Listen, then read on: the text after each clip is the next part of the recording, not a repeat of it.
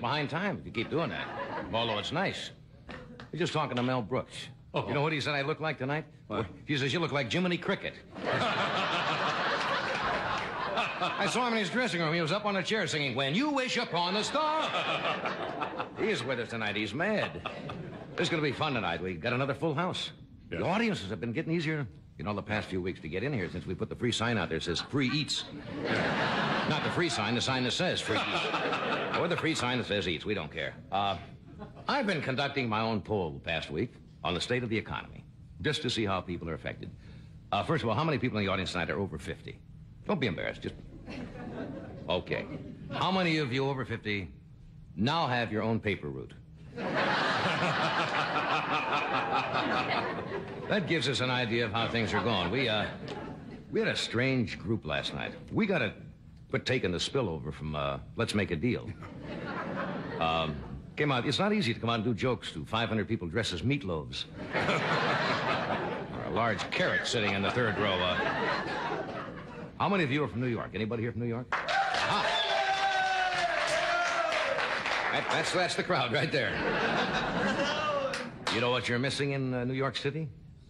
Six to ten inches of snow in metropolitan New York. Can you see it back there? We were we were there for a long time. I understand it's so deep back there. There's a there's an alert out. Well, I I, I was almost into it. No, there's a all right. There's a reward out for Mayor Beame. That's neat. No, it is so bad back there, so heavy, they had to throw hot water on the street to walkers to separate them from the lampposts. It is uh, grim and heavy back there. Spe- women always laugh at it. Now the guys, the guys go, "What is that?" The women laugh. Uh, well, speaking of New York City, President Ford is currently in uh, New York City. He's making a speech down in the uh, Wall Street. He's going to talk to all of the financial brains of the United States. That should be interesting. He's going to talk to Wall Street. You know, the important question is, will E.F. Hutton listen? all right, it's not an important question. And then he is going to attend a dinner tonight in New York. Who do you think it's in honor of? Vice President Rockefeller. Ford is going to attend that dinner. He's being honored for his greatest achievement, picking out a smart grandfather. Rockefeller's being awarded. Oh, that's that explains it. Well, that explains it. Sometimes I leave uh, a key phrase out of the joke. That's for making it inter- interesting to you folks to fill in the magic phrase that'll make that joke. It's kind of a uh, select your own joke type of thing. I'll throw out the ingredients, you put them together, and uh, you'll say, "Hey, I just made up a joke." Uh, well, I don't have to give all the words, you know. Sometimes the words. But uh, you know the economy's in bad shape. You know why they're traveling together, Ford and Rockefeller? Why? They can split the uh, cab coming in from the airport. That's what they can do. Was there anything left out of that joke? What? Was there anything left? Unfortunately, that was all there. That was, uh, that's all it had. No, but you know the economy's in bad shape when the uh, president walks in and the Marine band strikes up, Brother, can you spare a dime? That is, that's a little sad. And last night, uh, he attended another dinner last night. He was busy yesterday. Uh, he attended a dinner, you probably saw it in the news, in honor of Bob Hope. And he gave Bob Hope, and the president is doing jokes now. He did a joke last night. Did you see that? He did an Earl Butz joke. The President of the United States is stealing already from us. Uh, but he presented Bob Hope the uh, award as the Comedian of the Century. And Bob deserves it. He has entertained a lot of our armed forces. Right now, Bob is headed overseas to entertain our mercenaries in the oil fields.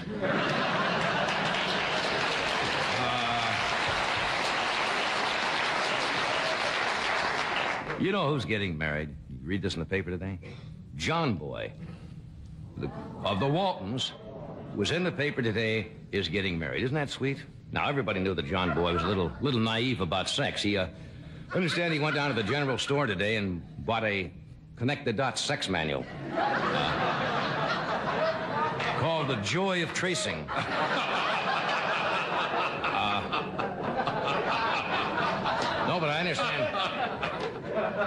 I understand Grandpa Walton sat John Boy down and told him all about the birds and the bees, and uh, John Boy went out that night in his pickup to try to get an easy blue jay. Uh,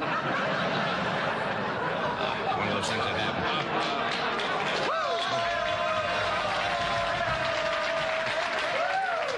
speaking of birds, you don't get a segue like this very often, but this this is happening up near San Francisco, and apparently it happens every year at this time. The birds, uh, I don't know exactly what area it is, around Oakland or something. The uh, the berries on the trees ferment. That's true. It was in the paper today, and the birds pick up the berries and they're getting drunk. The birds are getting bombed up there. That's got to be a sight. You ever seen a robin with his wing around a worm singing "Melancholy Baby"? and they, they, they, they spotted a flock of geese today flying over Sausalito, spelling out obscene words in their Uh, the police think they have the solution. They're filling all the uh, bird baths with co- black coffee or any kind of coffee or Just coffee. it's just coffee. Black coffee, red coffee, doesn't make any difference. We, uh, we have a great show for you tonight. Later on, Eliot Janeway and H and R Block are coming out to explain why they're working. But uh, crazy Mel Brooks, the mad genius, is here tonight who brought you uh, Blazing Saddles and Young Frankenstein. Mel is backstage now growing tall. Before he comes out, we have a lovely young actress, Susan Blakely, who was in the Towering Inferno and uh, in a motion picture called A Report to the Commissioner. We have a great singer, Holly Lipton is here, and Bob Rosefsky, who has a book on fraud, swindles, and rackets and stuff like that. Am I leaving anything out? That's it. That's plenty. We'll be with you. And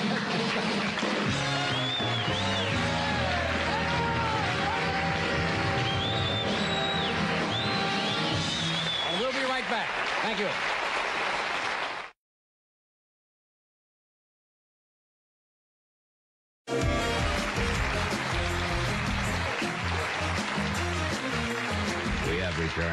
Have with us tonight Mel Brooks. We have Bob Rosefsky, uh, Susan Blakely, and Holly Lipton.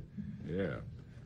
What, what, what do you have lying here? Is this I your grocery have- list or something? No, no, no. I just have the list of the schools that are competing tomorrow in the third annual 72-hour Great Canoe Race. I'm the official starter. USC, the Trojans, You're are the the defending champs. Com- competition is from UCLA, San Diego State, and Cal State and Long Beach. What's and the they're after the what? What is the Great They have Race? it's at Busch Gardens. They're on the lakes of Busch Gardens. They go for 72 hours. They have relay teams, and they're going after the very coveted Piddling Paddle Award. Are you going to be there as the I will be there. starter? I'm the official starter tomorrow. I know what you. In these troubled times, it's nice to know that a group of young people are going after a piddling paddle. Do they get to throw you on the? Uh... I would the wish lake you if don't. they win I don't think there's like any that? need to suggest that. All right. Here is an article from uh, Glamour magazine. Yes. You know you have rights as a shopper.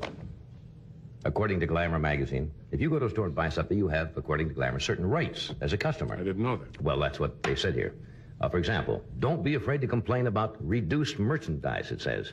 May be tired looking, but it's supposed to wear well and not be damaged and so forth and so on. Some stores will pay the difference if you buy something from them, then find the competitor charges less. Did you know that? No. If you go to a store and buy something, you go back to the store and say, I saw it over at so and so, usually they will give it to you for that price. You should do that. Good to know. Mm-hmm. For returns, expect cash if you paid cash and have a receipt. Credit if you lost the receipt or charged the purchase. Were you aware of that? That's your right. As to advertisements, if a garment is mistakenly advertised at the wrong price, and it's not a gross misprint like $1.98 for a $198 coat, you may be able to demand the price if you refer to the ad. Now, if something is $27.50, I suppose, and it's supposed to be what? Carry the ad with you. Yeah. Carry it with you? Right. And they go through a whole long list here. That's in Glamour magazine. That's in Glamour magazine. Your that. Rights love- as a shopper. You know, when Glamour- They're not strictly legal, but they Yeah. are rights that you should have. When Glamour reduced its size, you know, remember it was a larger magazine. Yes, it was one came time. down to a smaller size. What was nice about it, it didn't reduce the amount of information you'd get in a given story. I like that. I mean, even though it's kind of a condensed version, everything you'd want to hear about that particular subject is in that particular article. That's wrong, Wombat Breath. There's more, Yeah, I'll tell you. That's those, those are good.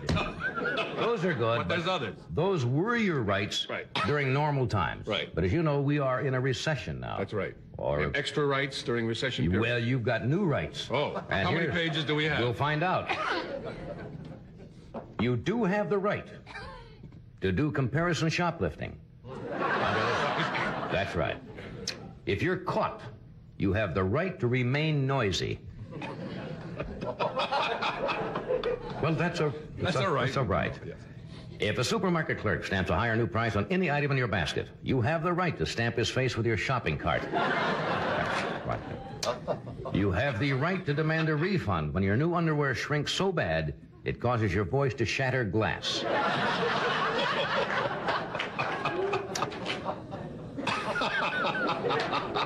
In a clothing store, if you see a sign that says we are not responsible for clothes left in this room, you have the right to gather up an armful and go home. Saying, since you're not responsible for these clothes, I am. That's an inalienable new right. How many pages are there? What? Yeah, well, it's going to be slimmed down here. In a supermarket, you have the right to return meat that still has fur on it.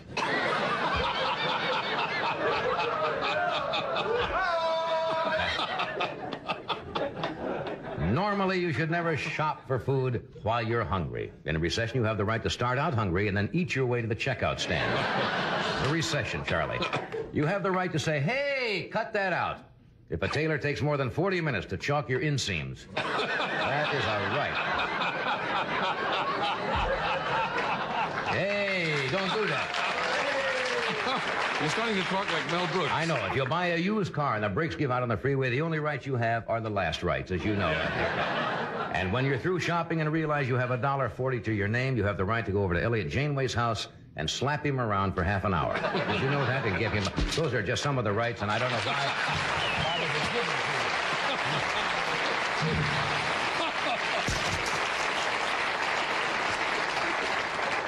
I think I was right when I said that Glamour magazine, uh, We just dump everything off the. Glamour magazine did cover everything in that They covered it better than I thought they would. but we gave it a shot. We have with us tonight uh, Mel Brooks, who will come out here in a moment and try to explain what we're doing out here. And uh, yeah, he's been on the cover of everything lately. He was in Newsweek magazine, Time magazine. He has a whole interview in Playboy magazine. And he is here tonight, along with Susan Blakely and uh, Holly Lipton and Bob Rosefsky. And we'll return in just a moment.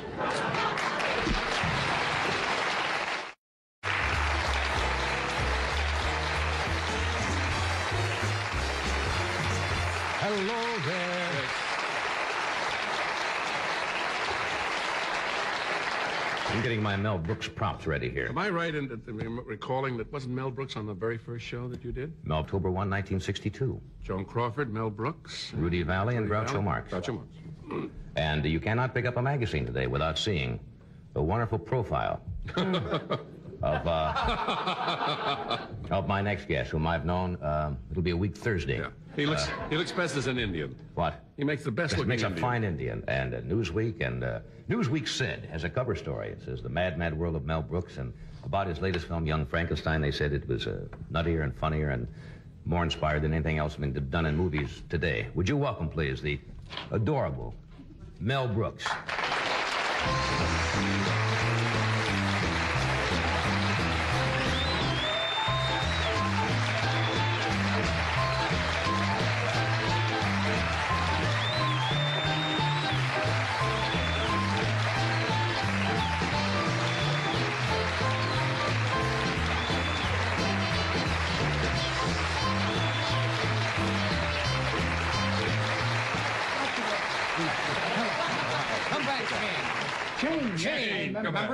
Brandon deWilde Brandon deWilde, right? ran over the hill after Alan Ladd, Alan right, Ladd I saying. Shane.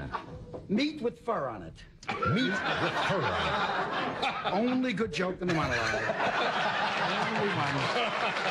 That would appeal to your that would appeal to your disturbed and distorted mind, right? The guts, you have such guts. guts. Your suits. Just everything you wear is so crazy, you know. Everything, everything. Well, what's wrong with it? Your now? nose, nothing is good, you know? You know, he's about 23. He makes up his hair all gray to look old, you know, to get an older appearance, you know, to look like a person, you know? He's a silly kid. He's just really a silly kid. I really love you. I really love you. Well, you know, you keep I saying. mean, I really love you. I know. You know what I mean? Yeah, really, really, this. And I Uh, don't fall in love with guys, you know what I mean? I'm pretty tough myself. but every once in a while, a beauty comes along and it just clicks. Say, hey, that's for me. you fall. What can you do? you, you fall, you fall. How are you, mad genius? That's what they call You you. know, the last time I wore this suit, What? I never wear a suit, but I don't like people coming on with Jewish stars and cross and everything. You know what I mean? They sit with Yeah, too much, here, yes. you know? It's too much. And I hate 50-year-olds who desert their generation. You know what I mean? Right. Artie Shaw, who's Artie Shaw? You know what I mean? Yeah. They forget. Sure. You talk to people. They're, they, you know, I'm 48. I'm going to be. Am I older than you are? Yes. What? Excuse me. yes. No, I don't. I, I was born on June 28th in 1926. Oh. When were you born? Why is this? Are you holding a party? No, no, I'm just. Oh, I see. when were you born? Come? You know that. Yes. You never call me. I- I every will, time I, I will, see you, I I run into you maybe what once every three or four months. Yeah. And I see you and Annie walking around the street. We don't go out. Reading the marquees. You know. No, but seriously, we, we never go out. We're, we're like home buddies, you know what I mean? So we hardly go. But if we did go out, you're the first person we'd go out with. Okay. But October ser- 23rd, You were October what year? 1925. October 23rd, 1925. Big 50 this year. You're a, a Gemini. What? I don't know what Here, is- I even give you the date and you didn't Yeah, know. Most people 20 tell you without even asking the date. You're, you're a Presbyterian. What, what is I'm that? I'm a Methodist. Yes, I'm a, uh, I'm a Scorpio. I'm on the You're a cusp. Scorpio. Cusp. One of them. Ah, Scorpio. That's right. Yaha, come here, little girl. Yes. Yeah. That's what they always say about Scorpios. Sexually maladjusted and, you know, You know- cool whip and a spatula. you know, Cool whipping a spat. That's not you. That's not your image. I know it's not. You're a nice person. That's right. Except Jiminy Cricket. I told him. I told him, you know, Yeah. what you'd said about my suit before I Yeah, came we out. did you do look. I look like Jiminy you Cricket. Don't do that, Pinocchio. Oh, Pinocchio, I'm ashamed of you. What is it? The? National Academy of Television Arts and Sciences. This I went to Dinah Shore's bar mitzvah at the at the at the Emmys, Right. and that's, the last time. Stiltman in the suit? And Burt Reynolds made a wonderful speech. Mm-hmm. He loves her. He Oh, kisses her. He has half a mustache. He had smallpox when he was three, and only half of him can grow a mustache. So he grows this half is he grows normal, nice, regular, beautiful. This half they make one to you know, pow. Oh, come on now. Yeah, right, I swear. Is this a Hollywood scoop? No, I made it up. I'm buying it. I'm sitting here like, oh, really? I didn't The only two guys I go out with is you and him. You know You, what I mean? well, that's as long as Burt's in there. Can I have a sip of this? Yes, please. Little coffee that Ed has over there. the king lives. Are you crazy on the air? Are you Meshuggah? I want, I'm telling you, ladies and Jews, this. plenty. You need plenty water after that. Plenty water. Yeah, I saw your, uh, saw your uh, young Frankenstein. You were the one.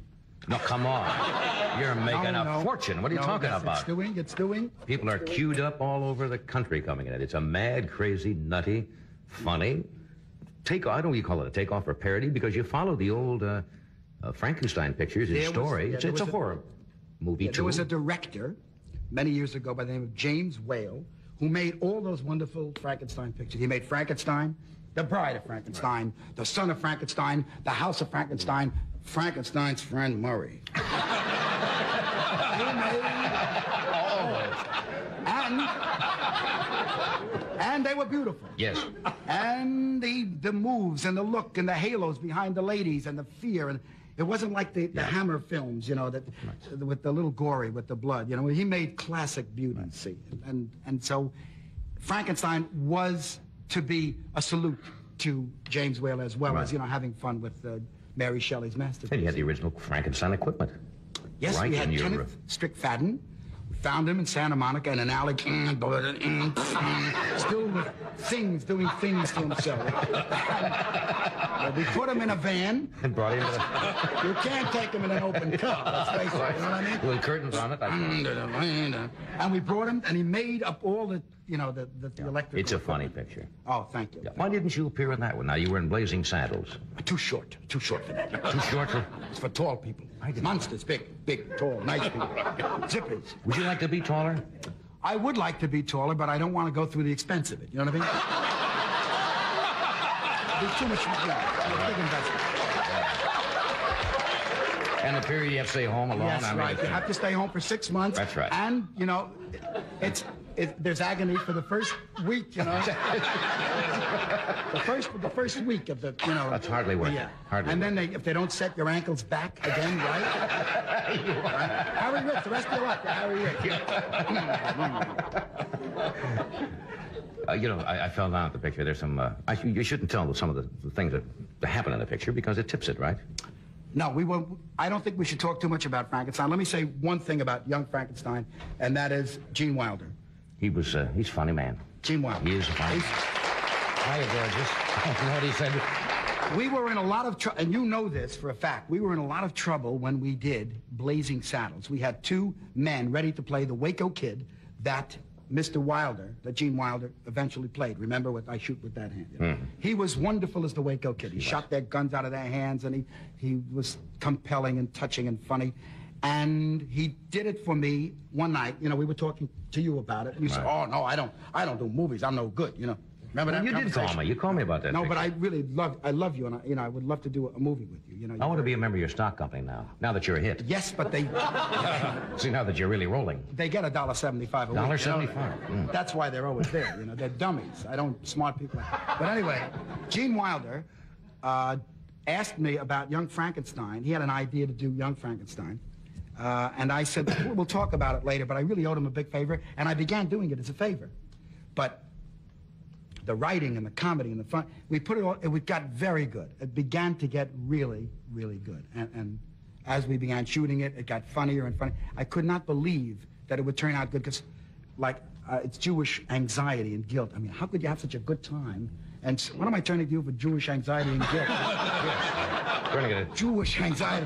Anyway, and, and it was it was wonderful. We were having a very good time, and I was afraid the picture would be a failure because we were just enjoying ourselves. Are you more secure But it was now? Gene. It was Gene. Yeah. Are Gene you more Wilder. secure now? I am. I'm very. I, are you kidding? I get 200 a week from. Are you telling us to break? We'll come back to. that is that was that what the piano was saying? Is that what it's saying? Why don't you wear a tie, Schmendrick? There's people out. All right. You're, you're really wonderful with the race. What do they pay for that? I see that. We're gonna come right I back. Love that. I love that guy. He's a little gay, but wow, who cares? who cares? Like He's a wonderful person. He's a nice- He's a church member. That's the most important thing. That's, who cares? So he goes to those bars. Who cares? Not our business. That tall one you went home with the other night, that's scary. The one with the blue with the one with the blue hair, you know. Doc, please. I mean, you have a family. Have a little. Go, go in a closed car. What are you? Uh, through the, you know, through the sliding roof. Of the, the, you know, o- over, The holding- sunroof. Oh, it was terrible. We have to break away here All for a second, but we're coming right back.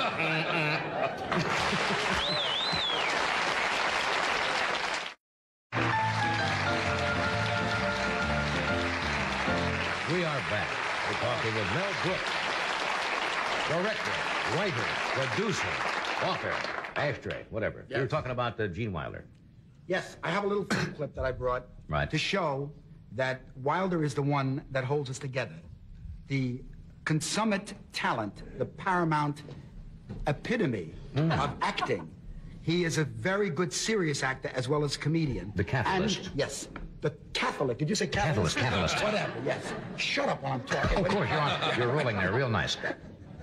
I want you to see in this film clip that we, we're all ready to break up and laugh, or we're biting our knuckles. Everybody on on screen, and Wilder, Wilder is the one you can hang, you can lean on. A rock. Show, please, show Gene Watch Wilder the monitor. in action.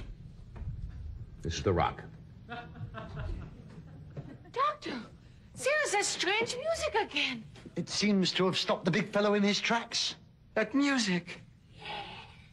That quaint.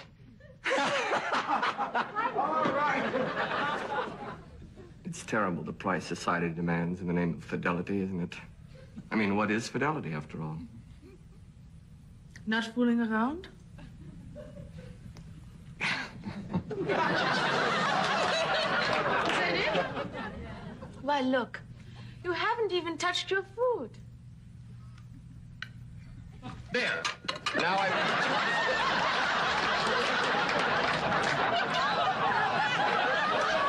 Still smoldering. Let me smell your breath.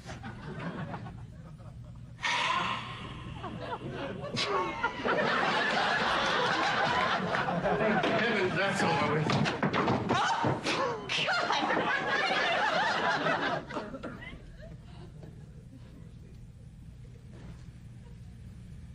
Follow me, please. Now listen to me very carefully.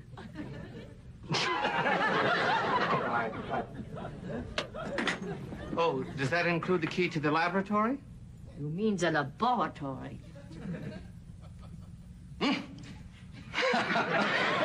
Gee, don't laugh. It's so much better. Uh, Igor, would you give me a hand with these bags? Certainly. You take the blonde and I'll take the one in the table.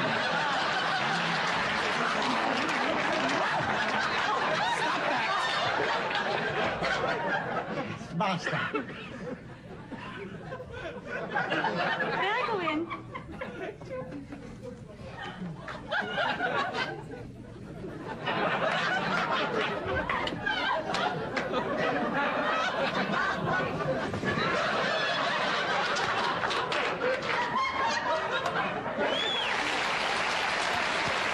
A rock. Man is a rock.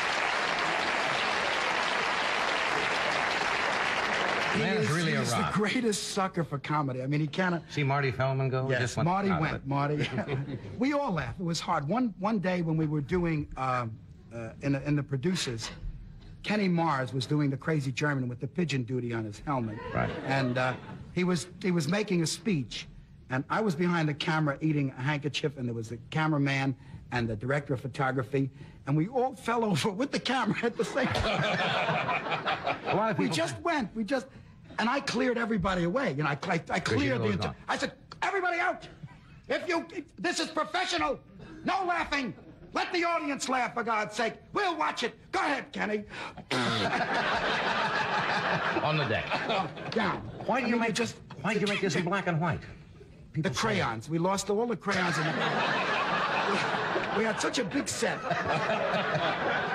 No, we black and white because James Whale made Yeah. his pictures in black and white. We didn't want to make one of those, you know, dopey new ones, you know. Hey, this is the second picture, third picture, I guess you would direct. What's the hardest part about making? Fourth. Fourth. Excuse me. Producers, the 12 chairs, Blazing Saddles, and Frankenstein, Young Of course. Thank you. What's- Thanks, Mom. What's the hardest thing about making a film? Is there The holes. what? The holes. The holes? The holes are the side of the of the of the celluloid. Everything a hole. A hole. A hole. It's a million. It's a million. It's a billion. I mean, I know, the acting is nothing. The writing is nothing. The, Making the, those little the, holes. But, but every night. and then you get it. And then they're all over and you don't know what they're doing. over. and then you, you, and then in your food, your potatoes. Uh, uh, you started out in the mountains, didn't you? Yes. Filling in for the comic who got sick one night and you went out and didn't have an act. Good evening, ladies and germs. I just moved from Chicago, and boy, are my arms tired. That kind of stuff. I met a girl. I met a girl in Chicago. She was so skinny, the waiter said, "Check your umbrella." That kind of stuff. But stuff. one night, one night, I really wanted to turn the Jews around. Right. To do something insane. So I did everything but no punchline. Good evening, ladies and gentlemen. I just flew in from Chicago. It was a little nauseous. They looked at it. All right. I met a girl in Chicago. She was so skinny, I was worried. Very A little worried about her. I went to a doctor. Doctor, she's all right. I got a room in Chicago. The room was so small. I called up. I said, change the room. I mean, I did every single joke known to man, but no punch, just straight, just, philosophy. This is a bad room. I don't like the room. They changed. And they looked. They, they said, there's a somewhere here. then I did. Then I did. You know, in the mountains, everybody was over like over 60. They didn't. They didn't get things right away.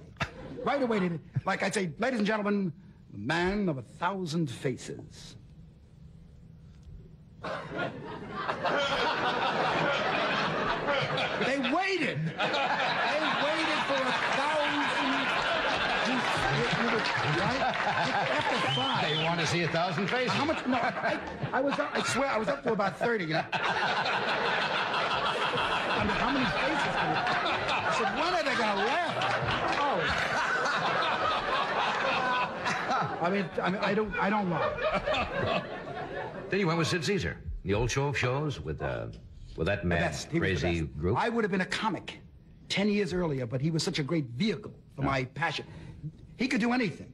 He mimicked people. I mean, he didn't do Bogart, he didn't do Cagney, he just did people, recognizable types. He really was incredibly talented. He did everything phonetically. Sid had been on the show. You know, he did great phonetic German, Oh, French, uh, Spanish, J- Japanese, whatever. He's great. He's re- he's really and he's still great. And the problem with television is that it eats you up like little link sausages every week. So it's difficult to stay alive when you're high powered.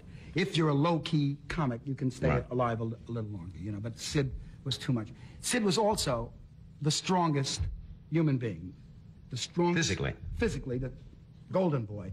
He didn't like a joke. He lifted the metal desk and the typewriter. I don't like it. He said, okay. no, don't have to be in. It don't have to be in. You feel it or don't you? Very early on, when we did the show of shows, we went to Chicago, uh, and I was writing for Sid. We played the Palmer House, the Empire Room at the Palmer House. And Sid rented a car, and we were driving in the car. Cab cut us off. Cab driver said things you cannot say on television. Sid said, moment, moment, sir, moment. Got out of the car, went to the cab driver. Cab driver wearing a yellow hat and a little leather bow tie. He's, and, the- and the cab driver is looking through this little clipper window. Remember those they had little clip? And he says to Sid more invectives, more you you know, uh, very bad cursing. And Sid just said to him, "Do you remember birth?" Do you remember birth? Birth. He said, "What? Do you remember being born? Do you remember birth? Your birth?" He said, "No." What? He said, "We're going to reenact it." He grabbed him by the leather bow tie and began pulling him.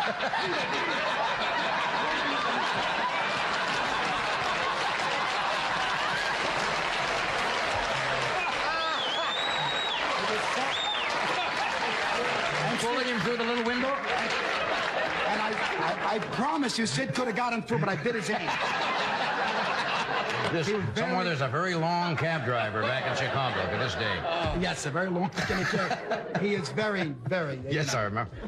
In the beginning, uh, uh, I was hired only by Sid. Max Right. Liebman didn't think I was a human person yet. He thought I was, you know, I was the one who ran out and got Sid coffee, light coffee, oh, but he didn't think I was a writer.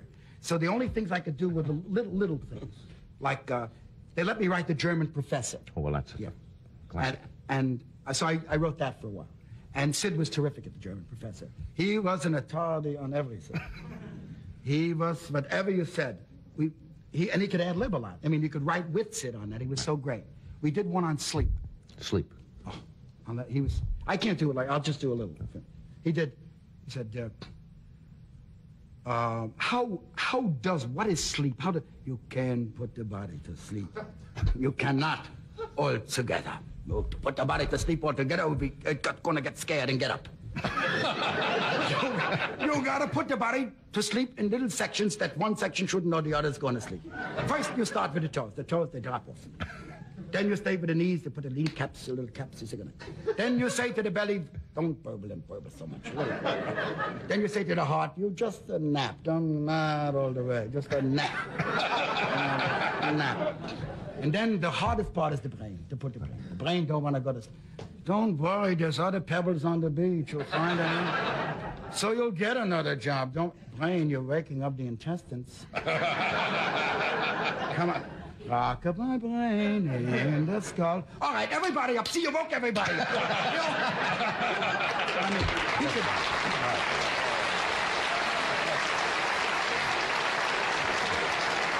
I am, I am insulting it because he really, I mean, No, you do. You do. I want to come back and talk about your meeting with General Sarnoff, because that was uh, I can't talk about that on television. Well, you can maybe work around it. No, we can't, nothing. I see. We won't talk about it. Okay. We'll go, Okay. To, go to something else. And we're not going to go to something else either. what, if you got a nut? what if you got a nut like that on the show? No, we're not going to talk about anything. We're just going to be here. what do you mean we're just going to be? We're just going to be here, and they'll be here, and the cameras, and we'll just be here. Sometimes you But get. But we're not going to talk. We don't have to talk. They'll know and we'll know. I've had once in a while you get that. You've got to say to a guy, some actor, you say, "I understand an amusing thing happened to you in Chicago." I don't remember. No, I don't. Don't recall that. And then you look, he looks to Freddie. You say, why did you book him? Why is he, why is he here? Get the hook. Oh, I know that. Well, we'll be back. We're coming right back. The king lives.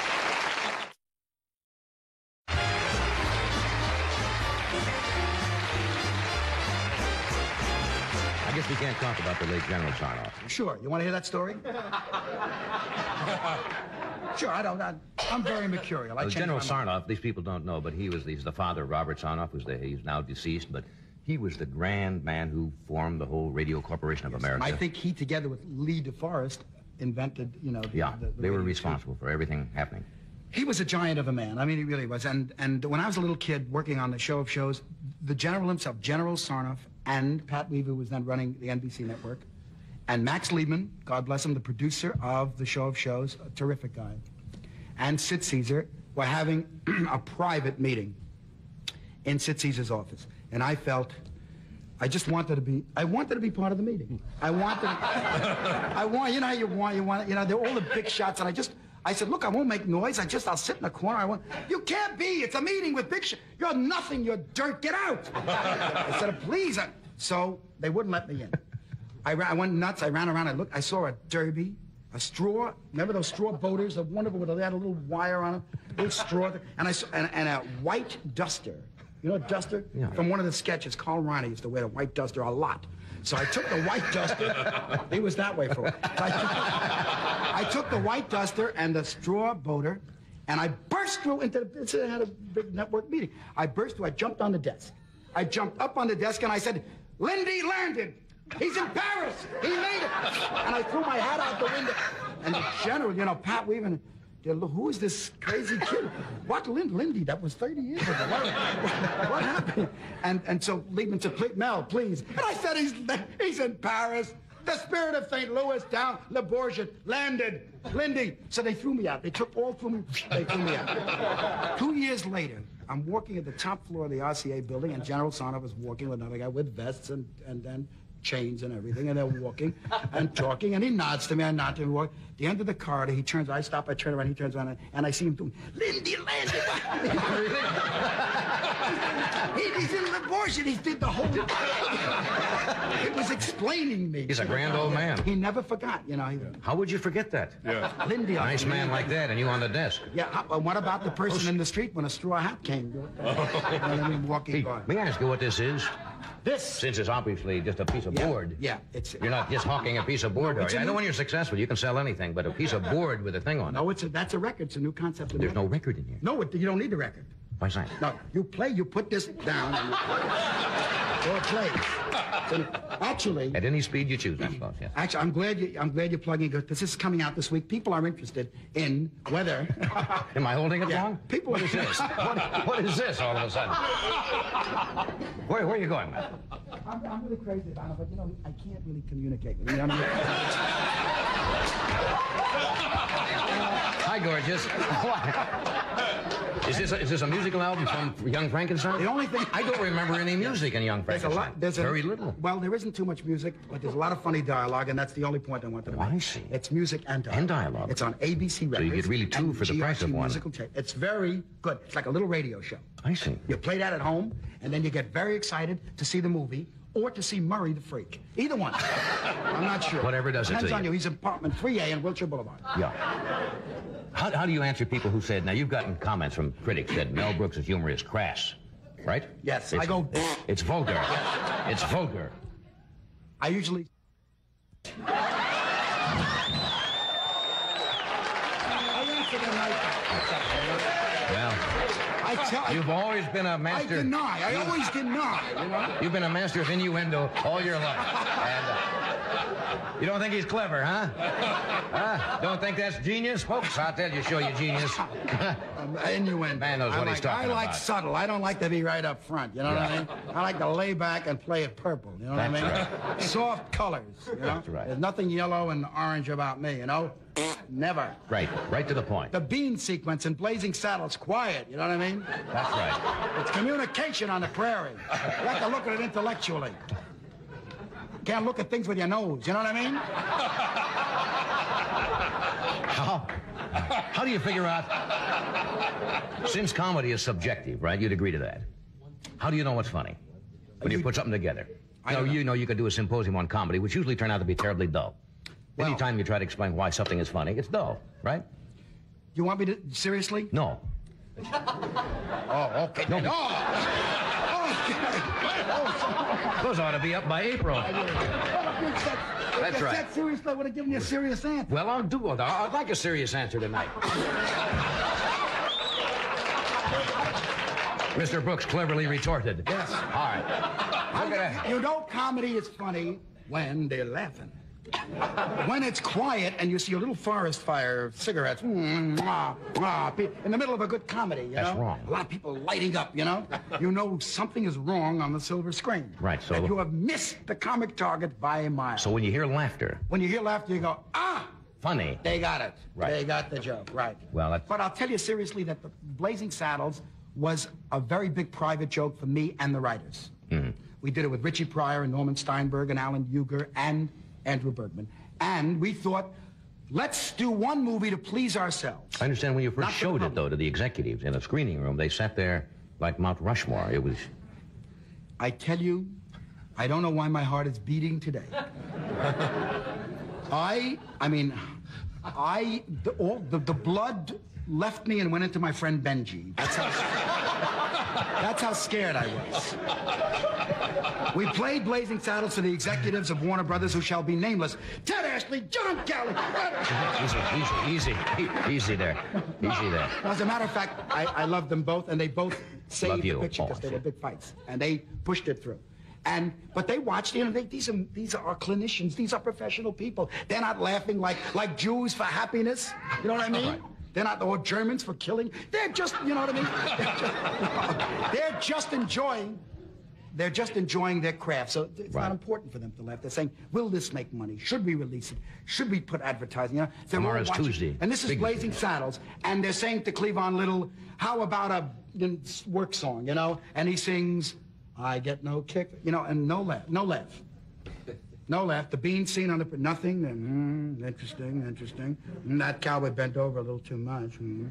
and then and and the whole the whole fight when we pulled back and revealed the world, you know, when Right. Mongo went to the fire. The, I saw Johnny Carson at the Fox Wilshire Theater, sitting with a very strange. No, that was your wife. That was my wife, Joanna. And he left his seat and went under two aisles uh, when that Mongo went into the fire. Really left. Leaned over to light the cigar In into that the fire. screening, I, I t- there was no laugh, and it was I was just you know ice. So it shows you it's all right. No, so I said to Mike Hertzberg, the producer, let's try human beings. So that night we got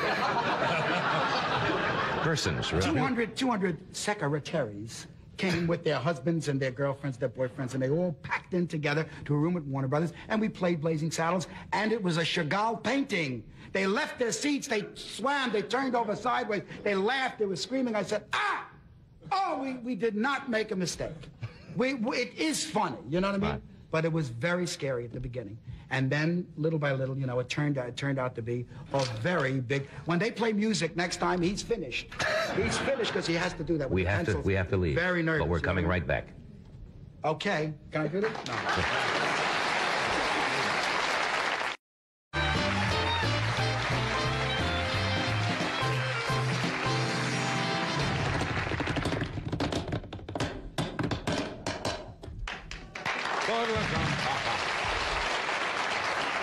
were a kid, The, the skinny ends are better. The fat ends just save the sticks. You know what I mean? Right. Yeah. Okay. we were If you play the front ends, you take a big chance. You know. right. We're talking about drumming because you took lessons when you were a Oh, kid from Buddy. Rich. Yeah. Right. You lived in the same neighborhood. And Brighton Beach. Oh, he's the best. Buddy, right? Buddy. Tops and tops. Tops and taps. And you're a very good drummer. You Oh, no, are. I just fool around. You have here. time, you have tempo, you just have very weak wrists, no offense. I found out when I was very young. I did. Yes. and no timing, but that's all right. But I make up for it because I have a, my drum lights up, bass drum But with a the only on thing that you make up for is that you know Mel Lewis. Otherwise, forget about it. True. Yeah. Just for the band. I'm still working in the mountains for the band, right? Sorry, folks, forgive me. No inside shtick from now on. Just our stuff, you know what I mean? You ever see you see Carl all the time, don't you? Carl Reiner. Anybody have a green Dodge? Wait. Uh, Carl, I You see all Carl- the guys from the old show? Howie Morris. Howie, oh, Howie Morris. How I miss him. Howie Morris is directing some of the best commercials on television, the McDonald commercials. Does he do those? That's Howie Morris, right. He's terrific. Howie Morris was, was my victim, you know. He's my, God made pigeons, he made little doves, and he made Howie Morris. and he said, they shall be called prey. Prey? P-R-E-Y. Yes, Right. They shall be called prey. And then he made wolves and foxes and tigers, and they shall be called Melvin. and I went, in- the minute I saw Howie on the show shows, they introduced me to, I, I, I went for his neck. You know, I, I couldn't help it. He's just, you have to go for him. Anyway, I met Howie, and we went out, and we had lunch, and we were walking down in the village near MacDougal Alley. I said, gee, wouldn't, my mind, I said, this would be a splendid place for a robbery. Bang, I hit him. I smacked him against a yellow Buick. I said, give me your wallet, give me your, your ring, your watch, everything, your money. He didn't know me that well. He said, wait a minute, are you kidding? I'm not kidding, I want everything. give me, all right, he gave me his watch, his wallet. Okay, don't hit, don't hit. Gave me his wedding ring.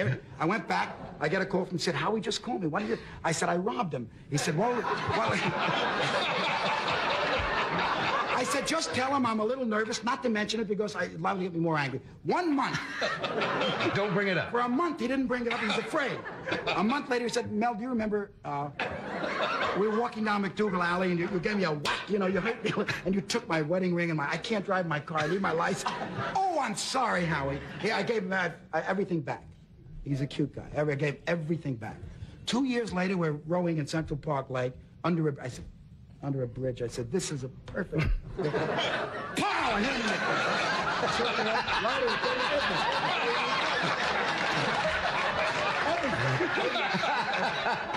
He gave me his watch, his wedding ring. He walked, he put his shoes around us like he walked the shore. One, I love him. He's a one, wonderful guy. I can't, he doesn't, if he's not watching this show tonight, I will rob him in six months. We're coming right back. Stay there.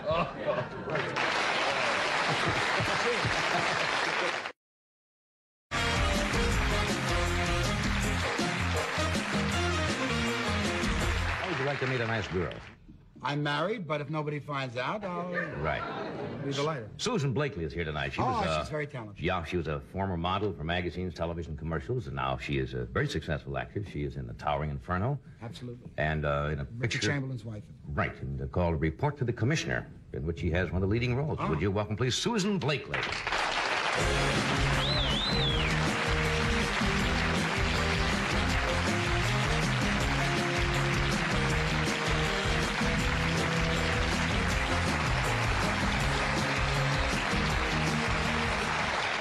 Oh, Don't sit on Mel. Silly Meshuggah, you Oh, thank you. Thank you, thank you for the Yiddish. Isn't he a silly man? Silly. Yeah. You were very good in that picture, by the way. Thank you. I haven't seen the Report to the Commissioner, but I heard from friends I trust, Murray the Nut. Yes. No, really, that you are terrific in reporting. Well, he's a good friend of mine, so that's Murray the Nut, you know, the guy with the... I saw a report to the commissioner, and I, for a moment I said, gee, that's too bad. I said, that's a very small part. You know, because they do a flashback in the thing. It shows in the opening scene, and I'm you're, dead. you're up in this loft, and all of a sudden you're shot. And I said, gee, she's a nice, talented young actress, but she didn't get much of a part there. Then all of a sudden it's a flashback, of course, and you're in the entire picture.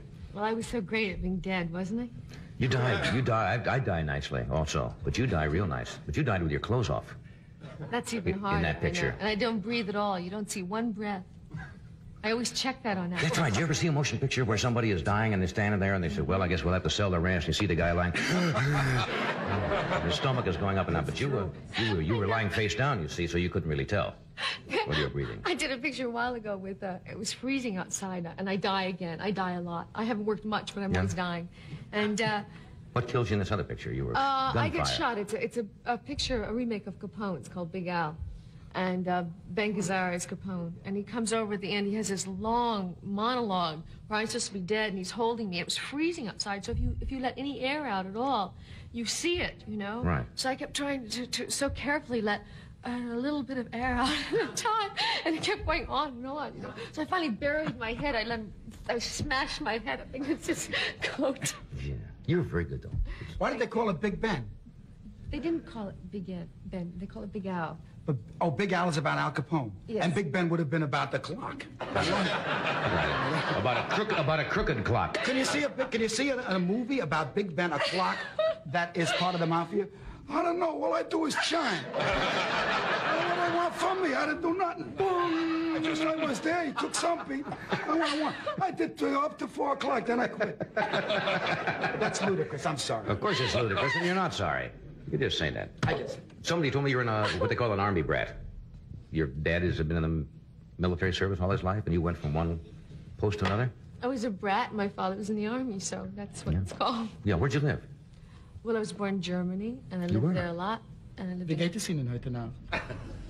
You don't like Germans, do you? I hate them. I- oh no, it's okay. I only I only hate Nazis and only in, in black and white old 30s movies. You know, Really? You're, you're really, really. You have to limit it. I mean, a kid is a kid. What are you gonna again yell at a kid? You know what I mean? I know. I came back from Germany, and I didn't know. Uh, I, I used to mix up my words. I didn't know which was German What did he say to you? English. Did he say anything at all? Who? Mel. No, no, no. But but I I, I, I, did. I, I said, read- Vi geht es Ihnen heute Nacht? Oh yes, he said, "Well, how are you this evening or whatever." I remember a little of it, but I remember a kid drawing. Uh, they they were going to play war, I also know Heil Hitler.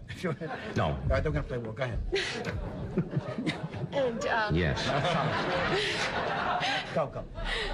and and they said um, no. Some kid drew in in the in the, the dirt and the, the playground a, a swastika, which I had never seen. I, I didn't know anything about it when I was in Germany. I was so young.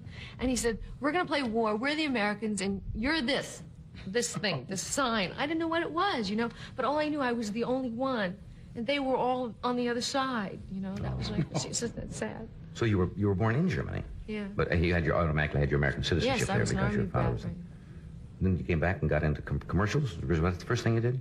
Modeling. Modeling commercials. How old, how old were you when you came, came back to the States? Ten, but I, I came back in between. When That's thought a it was- serious language problem. You probably knew as much German as English. I mean, you know, No, to use. no, no. I came back in between for about Oh. four or five years. I went back and uh, I forgot German very quickly when I found out how the Americans felt about the Germans. Where is your basic family? I mean, what, what part of the States? Now, You know, I'm sorry, John. I have no intention of taking you. No, I'm gonna catch, I'm gonna catch a nap anyway here. Uh, but no, you're doing a great thing. Uh, No, just but tell us, tell us, tell us. Just tell us. I was just gonna ask that myself. Uh, how old were you when you came back here? And uh, that must that's a terrible trauma being ten and yes. coming back here. do you, do you mean where, where was my family Yes. from? Yes, yes. Where were your family from? Talk to him. Talk to him. They originally came from uh, from here. My, my father was, you know, my father was an orphan. He grew up um, in the Midwest on different farms, and my mother grew up on a farm in St. Joseph, Missouri. So the real Midwesterners. Yeah. I Do you have any brothers or Do you have any brothers and sisters?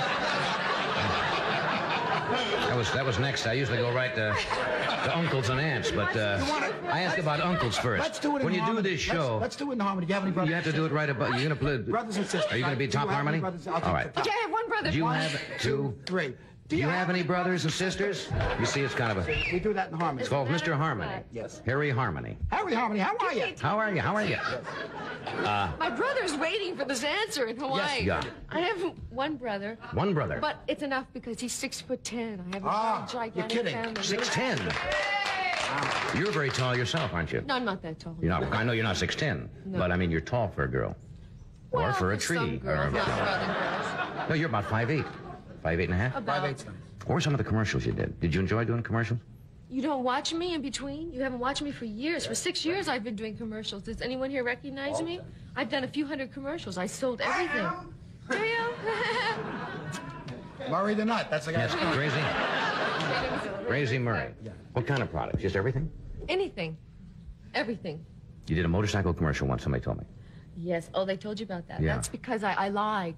I thought that um, they Like- said, "Can you ride a motorcycle?" You must. You got the commercial if you can really ride a motorcycle very well. And so you said yes. I said sure because I thought I had a week. You should I could always do that. You know, always say yes. that, That's right. I, I'm a very good comedian, by the way. Flying trapeze? Yes. Right, anything. I can I can do it. But I thought I could learn, and the thing was, it was too complicated. You had to get a permit to learn and so forth, so I didn't have time. And I get to the commercial, and uh, there's all these things with the gear shifts and this and that, and I try and get the guy who's got the, the motorcycles to tell me very quickly what to do. And uh, I, I wasn't too good on it, but we came zooming down a hill, and I went over a bump, and I went flying in the air, and I only got the handbrake. And if you don't get the foot brake, um, Connected to the the, the front wheel stops. Right. So I went flying over the front, you know, and I really went flying over. But I had a director who was really very sweet and so forth. And he said, Get back up there, the sun's going down. So I went zooming back up, and I didn't have time to get really scared. I had a lot of things like that in commercials. Yeah, but motorcycle, that's dangerous. Well, it was and it wasn't. The guy I was working with, he had the little one, the 100cc or whatever. He'd been speeding for years, but he, he was on the different one.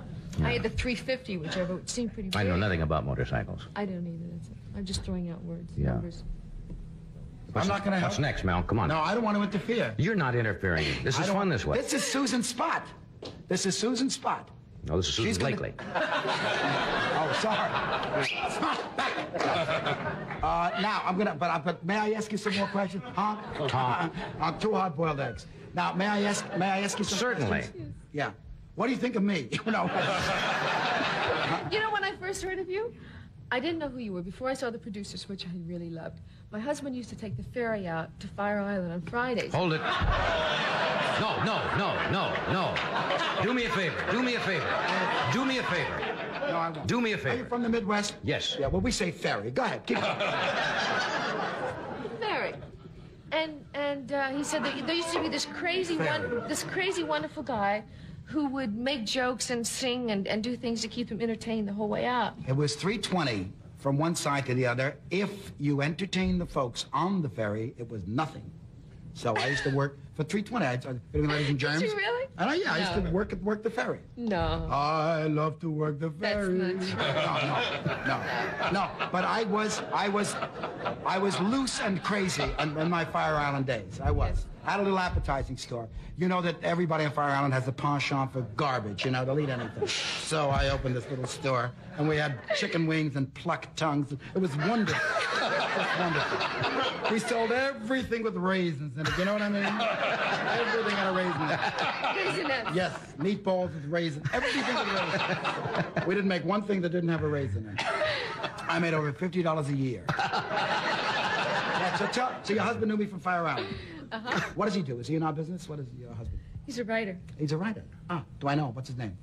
Todd. Todd. No. I don't know it. Todd. No. Not Bernie, Murray, what? Lenny, Lenny, or even No, he's- Seymour. Todd is hard for me. He's Jewish. Yeah, he He's is? Jewish from Brooklyn, but that's just a strange name. Ah. You never met a That's why I Todd know before? his Jewish He's name. passing. Todd. well, but does he write serious or comedy? or What? He writes everything. He's very good at comedy. He's a ubiquitous writer. Very good. I Good word. that means, That means being every place. That's right. All I over. That, that, that, that'll cover Nice word. See, when you're a success, you, you go right and get big words. You can buy them. When you make over a hundred a week, nothing stops you. That's right. Go Nothing. down and Nothing. pick up to the frozen word section and get new words each, each week. Now, uh, one. Just can I? What? Oh, oh, yeah. I have to sell something. Okay. Then we'll come back and, uh, We could, Can I take? Can I take? what? No, I'll, I'll later. Can I have one for later? Sure. put it in the bag. We'll put it in your car. Yeah, I. I We're going to be back after this message from Excedrin PM, the pain reliever that helps you get a good night's sleep.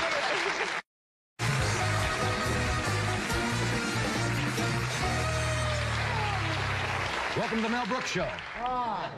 No, this, you know how great it is to finally get you on this show? I've been trying for I months and haven't and been months here and for months. what? Three or four years? Something like that. Well, do you know. And you were with me the opening show I did? Yes, the first show you ever did. Very first Crawford, show. Uh, Groucho Marx was there. Right? Rudy Vallee. Rudy Vallee. And you. Yes, and me. And I, I think I stood on your desk and I did Tony Bennett. That's right. I did a lot of crazy things for you. Yes. But you know why? It's hard to do the show. I mean, Susan, I'm sure will, you know, because. Well, when Susan does it, she'll find out. Ostensibly, ostensibly, you're just chatting. You know what I mean? You're just chatting and you're talking and and. And, and then you realize somewhere in the middle of your heart, 10 million people are watching. Are watching. They're watching you.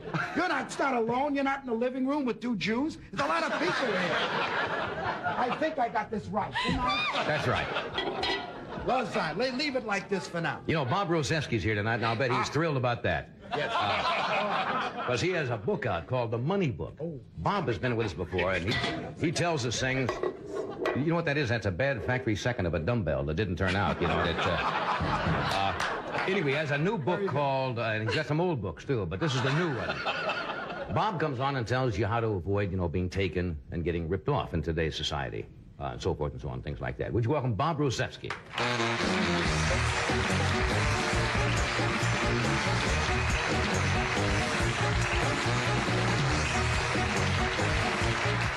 A wonderful man who wants to invest. Remember the last time you were here, we talked about gold. That's before gold became legal. Right.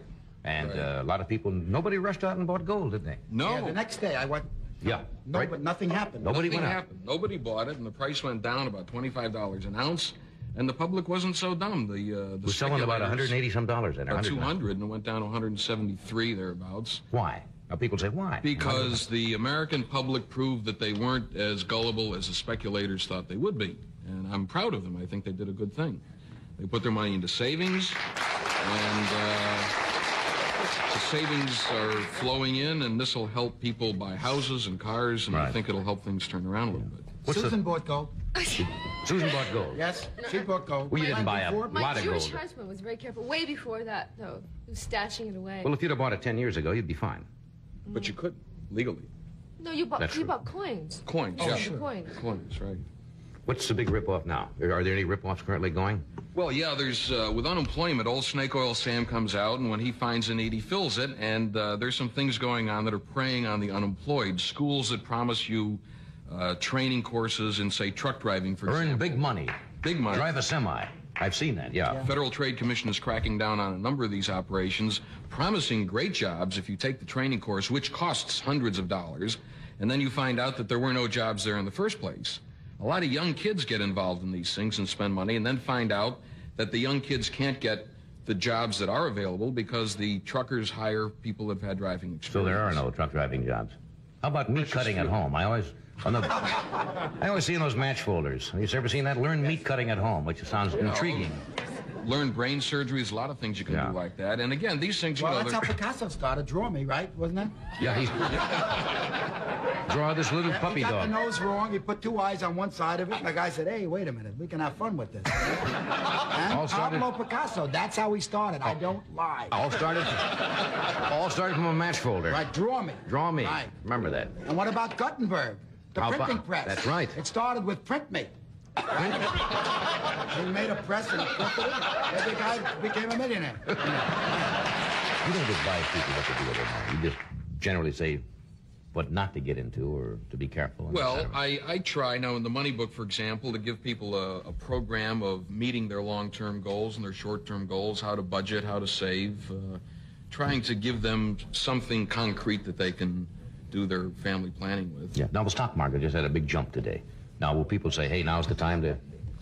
Well, a lot of people, of course, the last uh, six weeks or so have had tremendous jump in the stock market, but I still maintain most vehemently that the stock market is a speculative device, not necessarily an investment device. You can't meet your long term, certain positive goals by taking chances on things.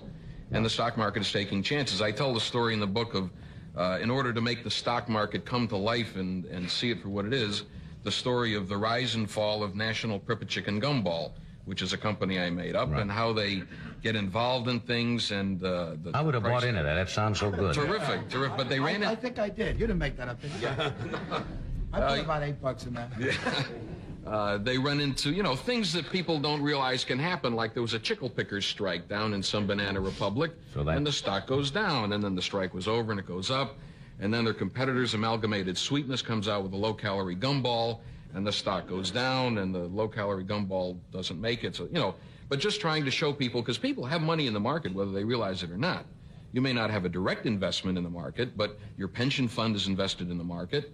Uh, your life insurance company probably has some money in the market, and you're affected by all these things. So I want to try to make it, uh, people see it for what it is, and that is a speculative type vehicle. I'm not saying don't get in. Yeah. There are certain times and places when you should. But you're not much fun when people come with a tip. People always come and say, "Want to tell you about this." My- Canadian vanadium. Yes. I went from I had I went in a uranium mine years ago because a very close friend of mine comes and says you got to get in on these stocks. They're like a penny a stock, and you know what happened to those?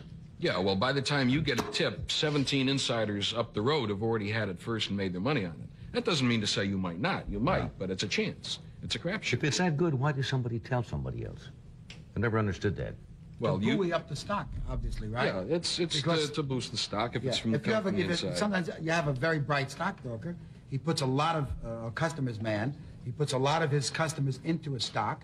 He gets a lot of other customers meant to put a lot of their customers into the same stock, and then he'll take his own money and take a little ride for three days, and then he'll get out, and whatever happens, happens. you Yeah, and he makes commissions along the way. And, and it's, it, but sometimes, like you say, I, I had a stock a couple of years ago, 20 years ago, that did great. Right. What was the name of that? American Jew. No, I don't want No, but, but I would really like to find out, sir, what, if somebody were to invest in anything, what should he, generally, what should he invest? Or do we have to buy the book? No, no. to meet your long-term goals, I think that the fixed income securities, such as savings accounts, over the long pull, Right. are going to get you where you want to get to at the time you want to get there. Invest in air. Why is air. always going up? What air and water. There's always going to be a A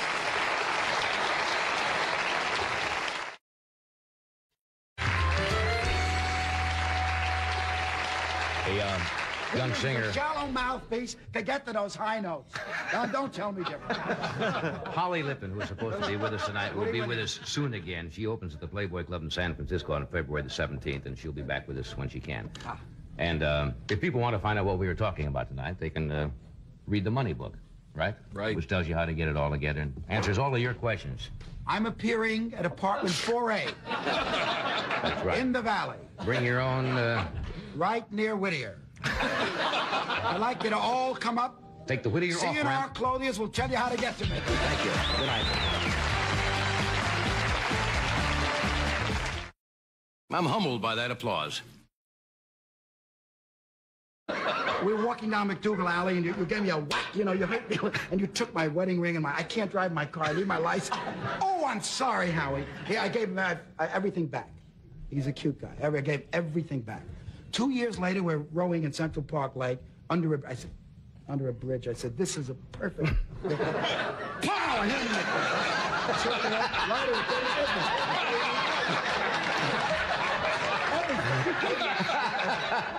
He gave me his watch, his wedding ring. He walked, he put his shoes around us like he walked the shore.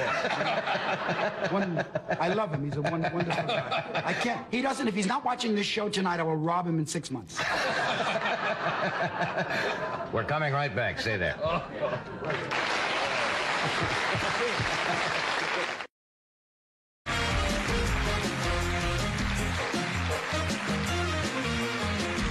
would you like to meet a nice girl? I'm married, but if nobody finds out, I'll Right. be delighted. Susan Blakely is here tonight. She Oh, was, uh, she's very talented. Yeah, she was a former model for magazines, television, commercials, and now she is a very successful actress. She is in The Towering Inferno Absolutely. and uh, in a Richard picture. Chamberlain's wife. Right, and uh, called Report to the Commissioner, in which he has one of the leading roles. Oh. Would you welcome, please, Susan Blakely?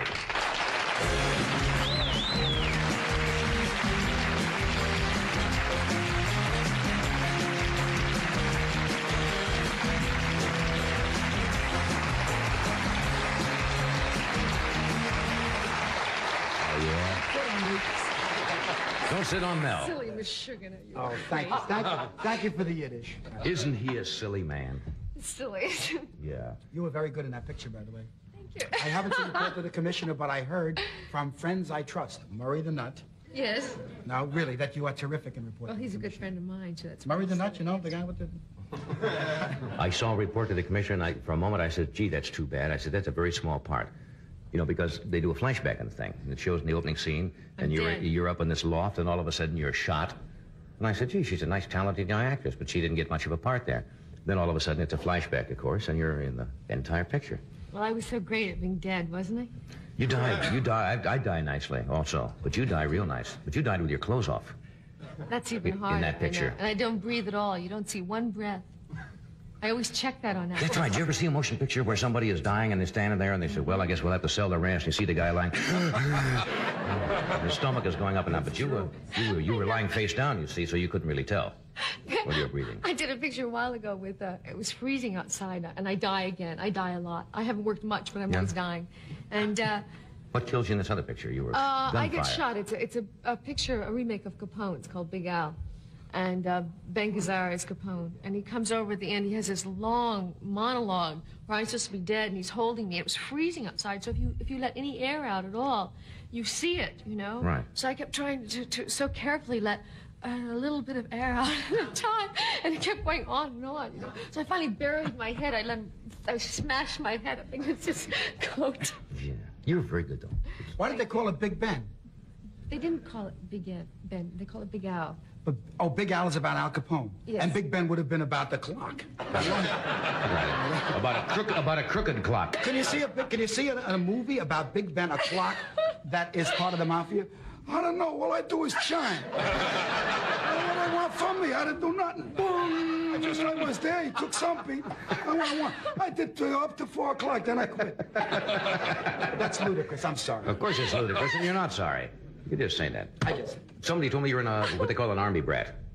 Your dad has been in the military service all his life, and you went from one post to another. I was a brat. My father was in the army, so that's what it's called. Yeah, where'd you live? Well, I was born in Germany, and I You lived were? there a lot. And I lived Wie in... geht es Ihnen heute Nacht? You don't like Germans, do you? I hate him. I- oh no, it's okay. I only I only hate Nazis and only in, in black and white old 30s movies. You know. Really? You're, you're really, really. You have to limit it. I mean, a kid is a kid. What are you gonna again yell at a kid? You know what I mean? I know. I came back from Germany, and I didn't know. Uh, I, I used to mix up my words. I didn't know which was German What did he say to you? was English. Did he say anything at all? Who? Mel. No, no, no. But but I I, John I, did. I I read- wie geht es Ihnen heute Nacht? Oh yes, he said, "Well, how are you this evening?" or whatever. I remember a little of it, but I remember a kid drawing. Uh, they, they were going to play war, I also know Heil Hitler. No. All right, they're going to play war. Go ahead.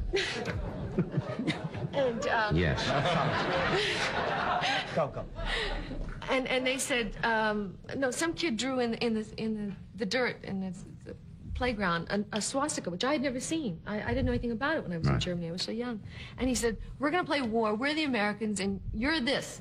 This thing, this sign. I didn't know what it was, you know, but all I knew I was the only one, and they were all on the other side. You know, that was like, it's just that's sad. So you were you were born in Germany, Yeah. but you had your automatically had your American citizenship yes, I there was because your father was. brat. Then you came back and got into com- commercials. Was that the first thing you did? Modeling. Modeling commercials. How old, how old were you when you came, came back to the States? Ten, but I, I came back in between. When I that's a it was- serious language problem. You probably knew as much German as English. I mean, you know, No, to use... no, no. I came back in between for about Oh. four or five years. I went back and uh, I forgot German very quickly when I found out how the Americans felt about the Germans. Where is your basic family? I mean, what, what part of the States? Now, You know, I'm sorry, John. I have no intention of taking over. No, I'm gonna catch, I'm gonna catch a nap anyway here. Uh, but no, you're doing a great thing. Uh, No, just but tell us, tell us, tell us. Just tell I was just gonna ask that myself. Uh, how old were you when you came back here? And uh, that must that's a terrible trauma being ten and coming back here. do you, do you mean where, where was my family Yes. from? Yes, yes, where were your family from? Talk to him. Talk to him. They originally came from uh, from here. My, my father was, you know, my father was an orphan. He grew up um, in the Midwest on different farms, and my mother grew up on a farm in St. Joseph, Missouri. So the real Midwesterners. Yeah. I Do you have any brothers and Do you have any brothers and sisters? That was that was next. I usually go right to, to uncles and aunts, but uh, I ask about uncles first. Let's do it in when you do harmony. this Let's- show, Let's, do it in harmony. Do you have any brothers? you have to do it right about. You're gonna play. Brothers and sisters. Are you gonna be top harmony? brothers? I'll All take right. the top. Okay, I have one brother. Do you One, have two? Three.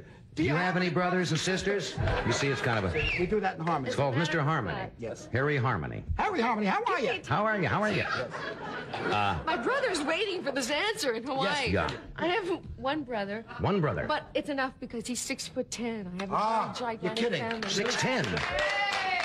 You're very tall yourself, aren't you? No, I'm not that tall. You're not. I know you're not six ten, No. but I mean you're tall for a girl, or for a some tree. girls, or- not for other girls. no, you're about five eight, five eight and a half. About. Five eight's fine. What were some of the commercials you did? Did you enjoy doing commercials? You don't watch me in between? You haven't watched me for years. For six years, I've been doing commercials. Does anyone here recognize me? I've done a few hundred commercials. I sold everything. Do you? Murray the Nut. That's the guy. Yes, crazy, crazy Murray. What kind of products? Just everything? Anything. Everything. You did a motorcycle commercial once. Somebody told me. Yes. Oh, they told you about that. Yeah. That's because I, I lied. I thought that um, they Like- said, "Can you ride a motorcycle?" You must. You got the commercial if you can really ride a motorcycle very well. And so you said yes. I said sure because I thought I had a week. You should I always do that. You know, always say yes. that, That's right. I, I'm a very good comedian, by the way. Flying trapeze? Yes. Right, anything. I can Yes. I can do it. But I thought I could learn, and the thing was, it was too complicated. You had to get a permit to learn and so forth, so I didn't have time. And I get to the commercial, and uh, there's all these things with the gear shifts and this and that, and I try and get the guy who's got the, the motorcycles to tell me very quickly what to do. And uh, I, I wasn't too good on it, but we came zooming down a hill, and I went over a bump, and I went flying in the air, and I only got the handbrake. And if you don't get the foot brake, um, Connected just to the the, the front wheel stops. Right. So I went flying over the front, you know, and I really went flying over. But I had a director who was really very sweet and so forth. And he said, Get back up there, the sun's going down. So I went zooming back up, and I didn't have time to get really scared. I had a lot of things like that in commercials. Yeah, but motorcycle, that's dangerous. Well, it was and it wasn't. The guy I was working with, he had the little one, the 100cc or whatever. He'd been speeding for years, but he, he was on the different one. I had the 350, whichever, which seemed pretty I know nothing about motorcycles. I don't either. That's it. I'm just throwing out words, Yeah. numbers. What's, I'm not gonna What's next, Mel? Come on. No, I don't want to interfere. You're not interfering. This is don't- fun this way. This is Susan Spot. This is Susan Spot. No, this is Susan She's gonna- Blakely. Oh, sorry. uh, now I'm gonna, but, uh, but may I ask you some more questions? Huh? Tom. Uh, two hard-boiled eggs. Now, may I ask? May I ask you some? Certainly. questions? Yeah. What do you think of me? You know. You know when I first heard of you? I didn't know who you were before I saw the producers, which I really loved. My husband used to take the ferry out to Fire Island on Fridays. Hold it. No, no, no, no, no. Do me a favor. Do me a favor. Do me a favor. No, I won't. Do me a favor. Are you from the Midwest? Yes. Yeah, well, we say ferry. Go ahead. Keep going. Ferry. And and uh, he said that there used to be this crazy one, this crazy wonderful guy, who would make jokes and sing and, and do things to keep him entertained the whole way out. It was 320 from one side to the other. If you entertained the folks on the ferry, it was nothing. So I used to work for 320. I, ladies and germs. you really? And I, yeah, I used to work at work the ferry. No. I love to work the That's ferry. not true. No, no, no, no. But I was, I was, I was loose and crazy in, in my Fire Island days. I was. I had a little appetizing store. You know that everybody on Fire Island has a penchant for garbage. You know, they'll eat anything. So I opened this little store, and we had chicken wings and plucked tongues. It was wonderful. It was wonderful. We sold everything with raisins in it. You know what I mean? Everything had a raisin in it. Yes, meatballs with raisins. Everything with raisins. We didn't make one thing that didn't have a raisin in it. I made over fifty dollars a year. Yeah, so, tell, so your husband knew me from Fire Island.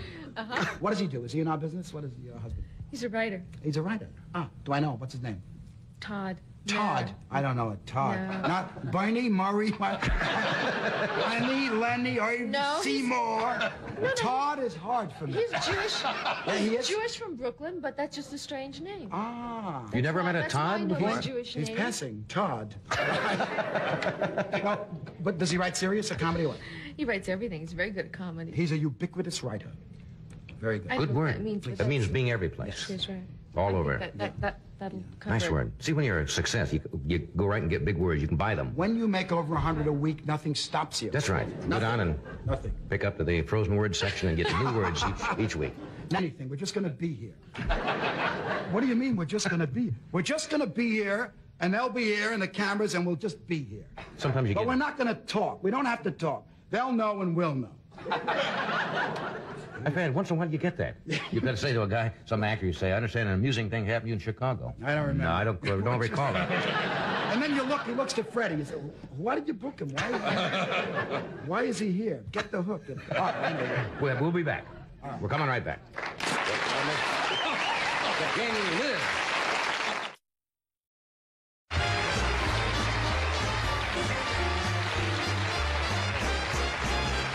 We can't talk about the late General Sarnoff. Sure. You want to hear that story? sure. I don't. I, I'm very mercurial. I Well, General. Sarnoff, these people don't know, but he was he's the father of Robert Sarnoff, who's the, he's now deceased, but he was the grand man who formed the whole Radio Corporation of America. I think he, together with Lee DeForest, invented. You know. The, yeah, the- the they were responsible for everything happening. He was a giant of a man. I mean, he really was. And and when I was a little kid working on the show of shows, the general himself, General Sarnoff, and Pat Weaver was then running the NBC network, and Max Liebman, God bless him, the producer of the show of shows, a terrific guy, and Sid Caesar were having a private meeting in Sid Caesar's office, and I felt. I just wanted to be. I wanted to be part of the meeting. I wanted. I want. You know how you want. You want. You know, they're all the big shots, and I just. I said, look, I won't make noise. I just. I'll sit in the corner. I want. You can't be. It's a meeting with big. Sh- you're nothing. You're dirt. Get out. I said, please. I, so they wouldn't let me in. I, ran, I went nuts. I ran around. I looked. I saw a derby, a straw. Remember those straw boaters? The wonderful. They had a little wire on them, little straw. And I saw and, and a white duster. You know, a duster Yeah. from one of the sketches. Carl Reiner used to wear a white duster a lot. So I took the white duster. He was that way for a while. So I, took, I took the white duster and the straw boater, and I burst through into the. It had a big network meeting. I burst through. I jumped on the desk. I jumped up on the desk and I said, "Lindy landed. He's in Paris. He made it." And I threw my hat out the window. And the general, you know, Pat Weaver. They're, Who is this crazy kid? What Lind, Lindy? That was 30 years ago. What, what, what happened? And and so Liebman said, "Please, Mel, please. And I said, he's he's in Paris. The spirit of St. Louis down Le Bourget landed. Lindy. So they threw me out. They took all threw me. They threw me out. Two years later, I'm walking at the top floor of the RCA building, and General Sarnoff is walking with another guy with vests and and and chains and everything, and they're walking and talking, and he nods to me, I nod to him, the end of the corridor, he turns, I stop, I turn around, he turns around, and, and I see him doing, Lindy landed. he, he's in the board. course, and he did the whole. it was explaining me. He's a grand old man. He never forgot, you know. He, How would you forget that? Yeah. Lindy, Nice man like that, and you on the desk. Yeah. how- uh, what about the person in the street when a straw hat came? You know what walking Hey, by. may I ask you what this is? This. Since it's obviously just a piece of Yeah, board. yeah, it's- You're not just hawking a piece of board, No, are you? a I know when you're successful, you can sell anything, but a piece of board with a thing on it. No, it's a, that's a record. It's a new concept. There's no record in here. No, it, you don't need the record. Why's that? No, you play. You put this down. And so it plays. So, actually, At any speed you choose, I suppose, yes. Actually, I'm glad you. I'm glad you're plugging it. Because this is coming out this week. People are interested in whether. Am I holding it Yeah. wrong? People- What is this? what, what is this all of a sudden? Where, where are you going, man? I'm, I'm really crazy about it, but you know, I can't really communicate with. You know, Hi, gorgeous. What? Is this, a, is this a musical album from Young Frankenstein? The only thing- I don't remember any music in Young Frankenstein. there's a lot. There's a, very little. Well, there isn't too much music, but there's a lot of funny dialogue, and that's the only point I wanted to Oh, make. I see. It's music and dialogue. And dialogue. It's on ABC Records. So you get really two for the price of one. Musical tape. It's very good. It's like a little radio show. I see. You play that at home, and then you get very excited to see the movie or to see Murray the Freak. Either one. I'm not sure. Whatever does it Depends to on you. you. He's in apartment 3A in Wilshire Boulevard. Yeah. How, how do you answer people who said, now you've gotten comments from critics that Mel Brooks' humor is crass, right? Yes, It's, I go, It's, it's vulgar. It's vulgar. I usually. I answer them like that. Well, I you've always been a master. I deny. I always deny. You know. You've been a master of innuendo all your life. And, uh, you don't think he's clever, huh? huh? Don't think that's genius? Folks, I'll tell you, show you genius. Um, innuendo. Man knows I what like, he's talking I like about. subtle. I don't like to be right up front. You know what I mean? I like to lay back and play it purple. You know what I mean? Soft colors. You know? That's right. There's nothing yellow and orange about me. You know? Never. right, right to the point. The bean sequence in Blazing Saddles, quiet. You know what I mean? That's right. It's communication on the prairie. You have to look at it intellectually. Can't look at things with your nose. You know what I mean?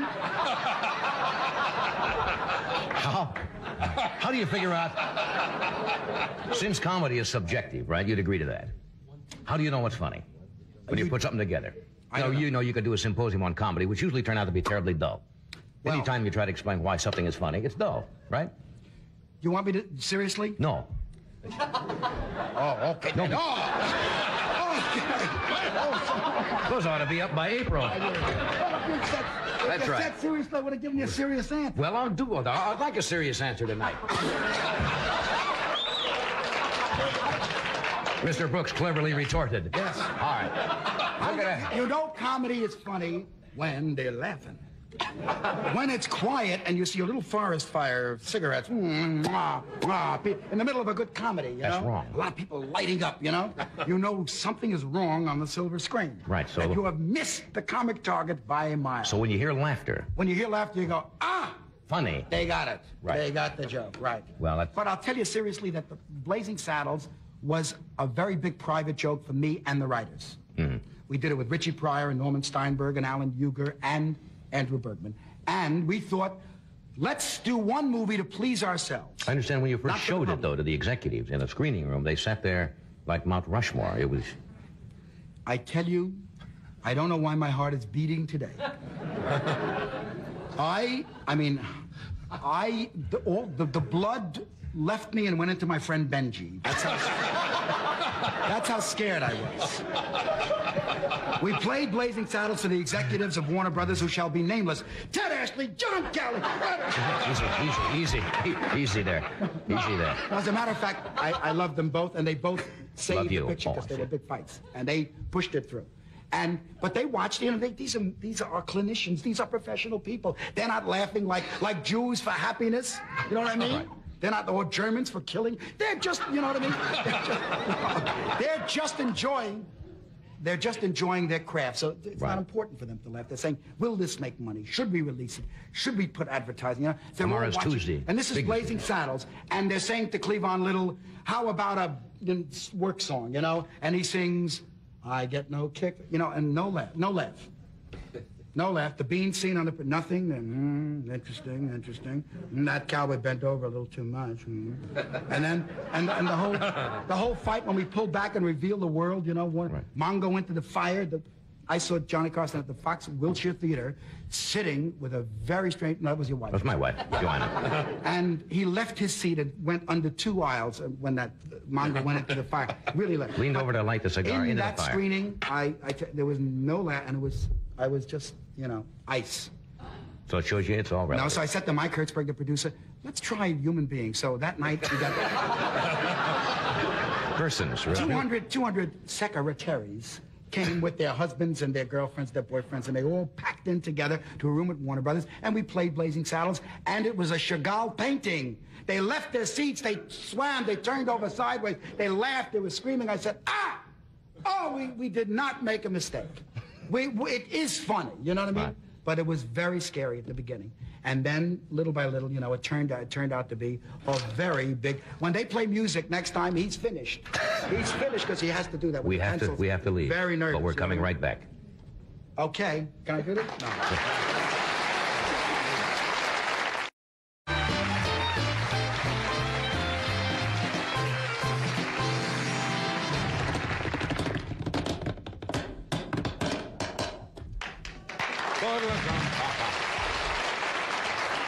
Were a kid, The, the skinny ends are better. The fat ends just save the sticks. You know what I mean? Right. Yeah. Okay. we were If you play the front ends, you take a big chance. You know. right. We're talking about drumming because you took lessons when you were a kid Oh, from Buddy. Rich. Yeah. Right. You live in the same neighborhood. In Brighton Beach. Hill, he's the best. Buddy, right? Buddy. Tops and tops. Tops and taps. And you're a very good drummer. You Oh, no, are. I just fool You around have here. time, you have tempo. You just have very weak wrists. No offense. I found out when I was very young. I did, yes. and no timing, but that's all right. But I make up for it because I have a, my drum lights up, bass drum But with a the only on thing it. that you make up for is that you know Mel Lewis. Otherwise, forget about it. True. Yeah. Just for the band. I'm still working in the mountains for the band, right? Sorry, folks. Forgive me. No inside shtick from now on. Just our stuff. You know I? You ever see you see Carl all the time, don't you? Carl Reiner. Anybody have a green Dodge? Wait. Uh, Carl. I You see all Carl- the guys from the old show? Howie Morris. Howie, oh, Howie Morris. How I miss him. Howie Morris is directing some of the best commercials on television, the McDonald commercial. Does he do those? That's Howie Morris, right. He's terrific. Howie Morris was, was my victim, you know. He's my God made pigeons, he made little doves, and he made Howie Morris. and he said, They shall be called prey. Ray. P R E Y. Yes, Right. They shall be called prey. And then he made wolves and foxes and tigers, and they shall be called Melvin. and I went in, the minute I saw Howie on the show shows, they introduced me to I, I, I went for his neck. You know, I, I couldn't help it. He's just, you have to go for him. Anyway, I met Howie, and we went out, and we had lunch, and we were walking down in the village near MacDougal Alley. I said, gee, wouldn't, my mind, I said, this would be a splendid place for a robbery. Bang, I hit him. I smacked him against a yellow Buick. I said, give me your wallet, give me your, your ring, your watch, everything, your money. He didn't know me that well. He said, wait a minute, you kidding? I'm not kidding. I want everything. give me, all right. He gave me his watch, his wallet. Okay, don't hit, don't hit. Gave me his wedding ring. I went back. I get a call from, said, Howie just called me. What did you? I said, I robbed him. He said, well, well. I said, just tell him I'm a little nervous, not to mention it because I, it's liable to get me more angry. One month. Don't bring it up. For a month, he didn't bring it up. He was afraid. A month later, he said, Mel, do you remember? Uh,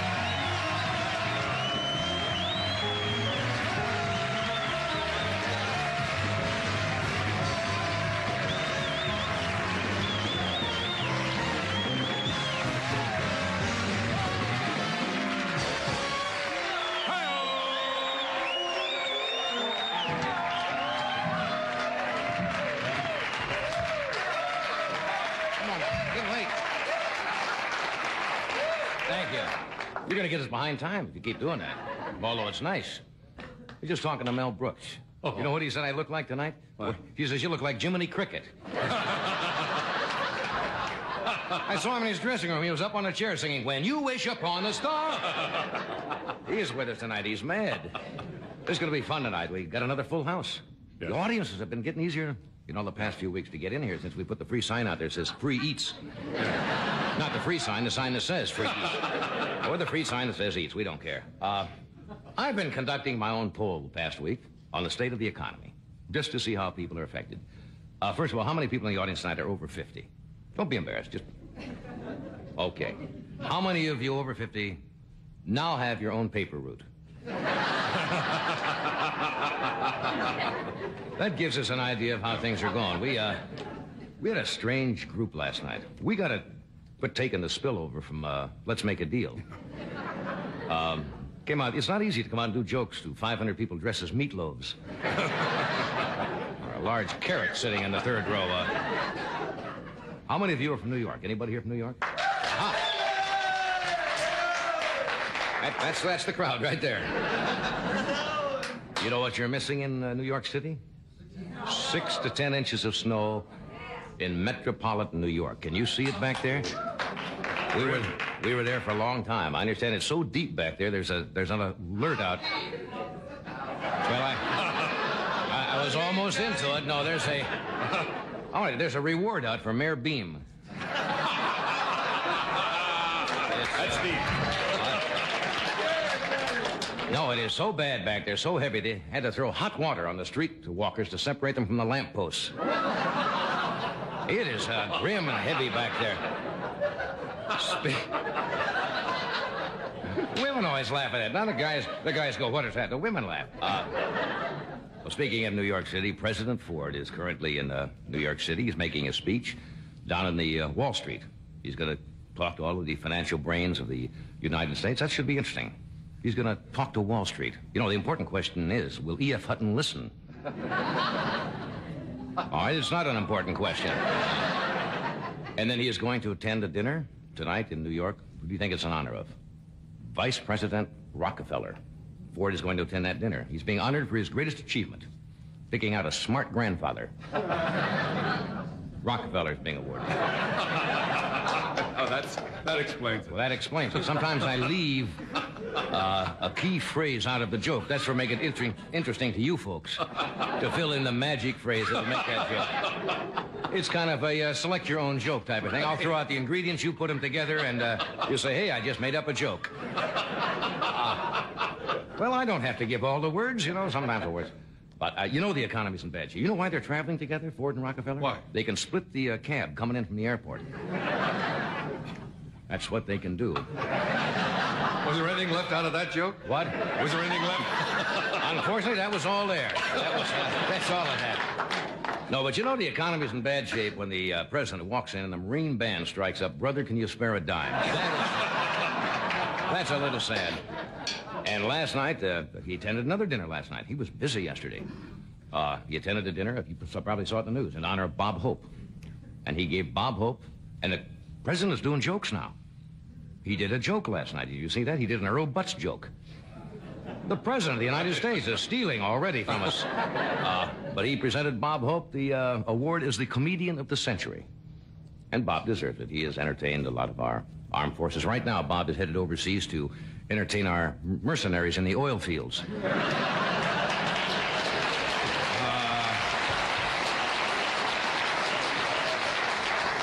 You know who's getting married? You read this in the paper today? John Boy the, of the Waltons was in the paper today is getting married. Isn't that sweet? Now everybody knew that John Boy was a little little naive about sex. He uh, understand he went down to the general store today and bought a connect the dots sex manual uh, called "The Joy of Tracing."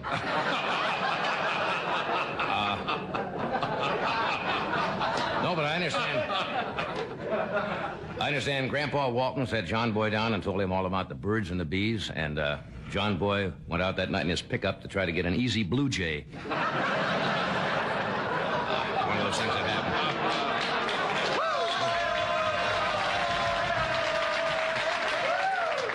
Speaking of birds, you don't get a segue like this very often, but this this is happening up near San Francisco, and apparently it happens every year at this time. the birds, uh, I don't know exactly what area it is, around Oakland or something, the, uh, the berries on the trees ferment. That's true. It was in the paper today. And the birds pick up the berries and they're getting drunk. The birds are getting bombed up there. That's got to be a sight. You ever seen a robin with his wing around a worm singing Melancholy Baby? and they, they, they, they spotted a flock of geese today flying over Sausalito, spelling out obscene words in their uh, The police think they have the solution. They're filling all the uh, bird baths with co- black coffee or any kind of coffee or Just coffee. it's just coffee. Black coffee, red coffee, doesn't make any difference. We, uh, we have a great show for you tonight. Later on, Eliot Janeway and H and R Block are coming out to explain why they're working. but uh, Crazy Mel Brooks, the mad genius, is here tonight who brought you uh, Blazing Saddles and Young Frankenstein. Mel is backstage now growing tall. Before he comes out, we have a lovely young actress, Susan Blakely, who is in the Towering Inferno and uh, in a motion picture called A Report to the Commissioner. We have a great singer, Holly Lipton is here, and Bob Rosefsky, who has a book on fraud, swindles, and rackets and stuff like that. Am I leaving anything out? That's it. That's plenty. We'll be with you. And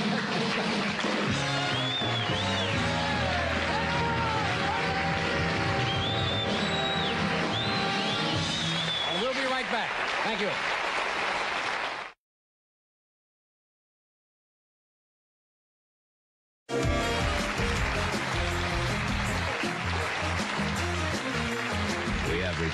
We have with us tonight Mel Brooks. We have Bob Rosefsky, uh, Susan Blakely, and Holly Lipton. Yeah. What, what, what do you have lying here? Is this I your grocery have- list or something? No, no, no. I just have the list of the, schools that are competing tomorrow in the third annual 72-hour Great Canoe Race. I'm the official starter. USC, the Trojans, You're are the the, defending champs. Com- competition is from UCLA, San Diego State, and Cal State and Long Beach. What's and the they are after the what? What is the Great They have Race? it's at Busch Gardens. They're on the lakes of Busch Gardens. They go for 72 hours. They have relay teams, and they're going after the very coveted Piddling Paddle Award. Are you going to be there as I will be there. starter? I'm the official starter tomorrow. I know what you. In these troubled times, it's nice to know that a group of young people are going after a piddling paddle. Do they get to throw you in the, uh, I would the wish lake you if don't. I don't think there's like any that? need to suggest that. All right. Here is an article from uh, Glamour magazine. Yes. You know you have rights as a shopper? According to Glamour magazine, if you go to a store and buy something, you have, according to Glamour, certain rights as a customer. I didn't know that. Well, that's what they said here. Uh, for example, don't be afraid to complain about reduced merchandise, it says. May be tired looking, but it's supposed to wear well and not be damaged and so forth and so on. Some stores will pay the difference if you buy something from them, then find the competitor charges less. Did you know that? No. If you go to a store and buy something, you go back to the store and say, I saw it over at so-and-so. Usually they will give it to you for that price. You should do that. Good to know. Mm-hmm. For returns, expect cash if you paid cash and have a receipt. Credit if you lost the receipt or charged the purchase. Were you aware of that? That's your right. As to advertisements, if a garment is mistakenly advertised at the wrong price, and it's not a gross misprint like $1.98 for a $198 coat, you may be able to demand the price if you refer to the ad. Now, if something is twenty-seven fifty, I suppose, and it's supposed to be what? Carry the ad with you. Yeah. Carry it with you? Right. And they go through a whole long list here. That's in Glamour magazine. That's in Glamour magazine. love Your that. I rights love- as a shopper. You know, when Glamour- They're not strictly legal, but they are rights that you should have. When Glamour reduced its size, you remember it was a larger magazine. Yes, it was one came time. down to a smaller size. What was nice about it, it didn't reduce the amount of information you'd get in a given story. I like that. I mean, even though it's kind of a condensed version, everything you'd want to hear about that particular subject is in that particular article. That's wrong, wombat breath. There's more? Yeah, I'll tell you. That's those, those are good. Those are good. But there's others. Those were your rights Right. during normal times. Right. But as you know, we are in a recession now. That's right. Or- extra rights during recession You- well, you've got new rights. Oh, And how many pages do we have? We'll find out. You do have the right to do comparison shoplifting. That's right. If you're caught, you have the right to remain noisy. Well, that's a That's all right. That's all right. Yes. If a supermarket clerk stamps a higher new price on any item in your basket, you have the right to stamp his face with your shopping cart. Right. You have the right to demand a refund when your new underwear shrinks so bad it causes your voice to shatter glass.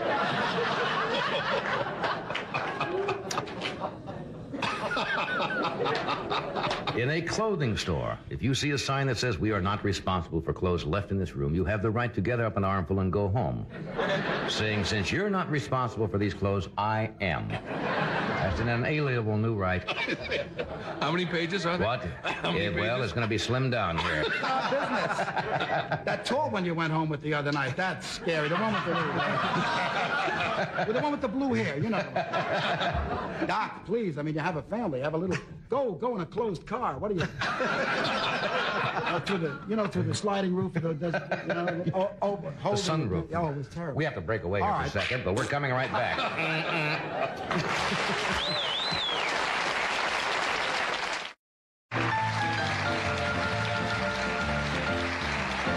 We are back. We're talking with Mel Brooks, director, writer, producer, author, ashtray, whatever. Were Yes. talking about uh, Gene Wilder. Yes, I have a little film clip that I brought Right. to show that Wilder is the one that holds us together. The consummate talent, the paramount epitome Mm. of acting. He is a very good serious actor as well as comedian. The catalyst. And, yes. The Catholic. Did you say catalyst? Catalyst, catalyst. Whatever, yes. Shut up when I'm talking. Of course, you're, on, you're rolling there real nice. I want you to see in this film clip that we, we're all ready to break up and laugh, or we're biting our knuckles. Everybody on on screen, and Wilder, Wilder is the one you can hang, you can lean on. A rock. Show, please, show Gene Watch Wilder the monitor. in action. This is The Rock. Doctor, Sarah's that strange music again. It seems to have stopped the big fellow in his tracks. That music. Yes. That quaint.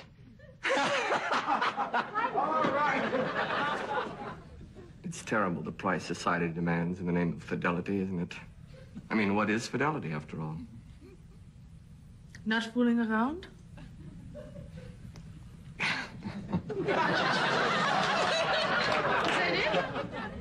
Is that it? Why, look, you haven't even touched your food.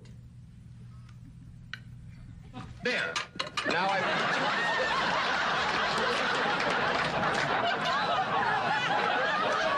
Still smoldering. Let me smell your breath.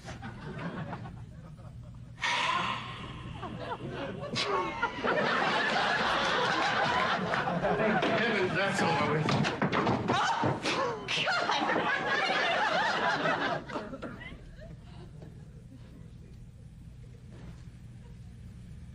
Follow me, please. Now listen to me very carefully.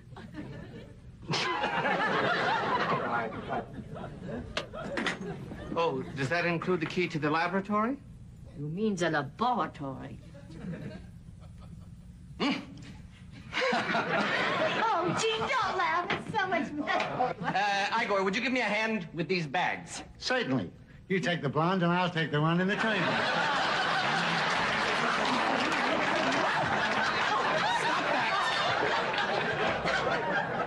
Basta. May I go in?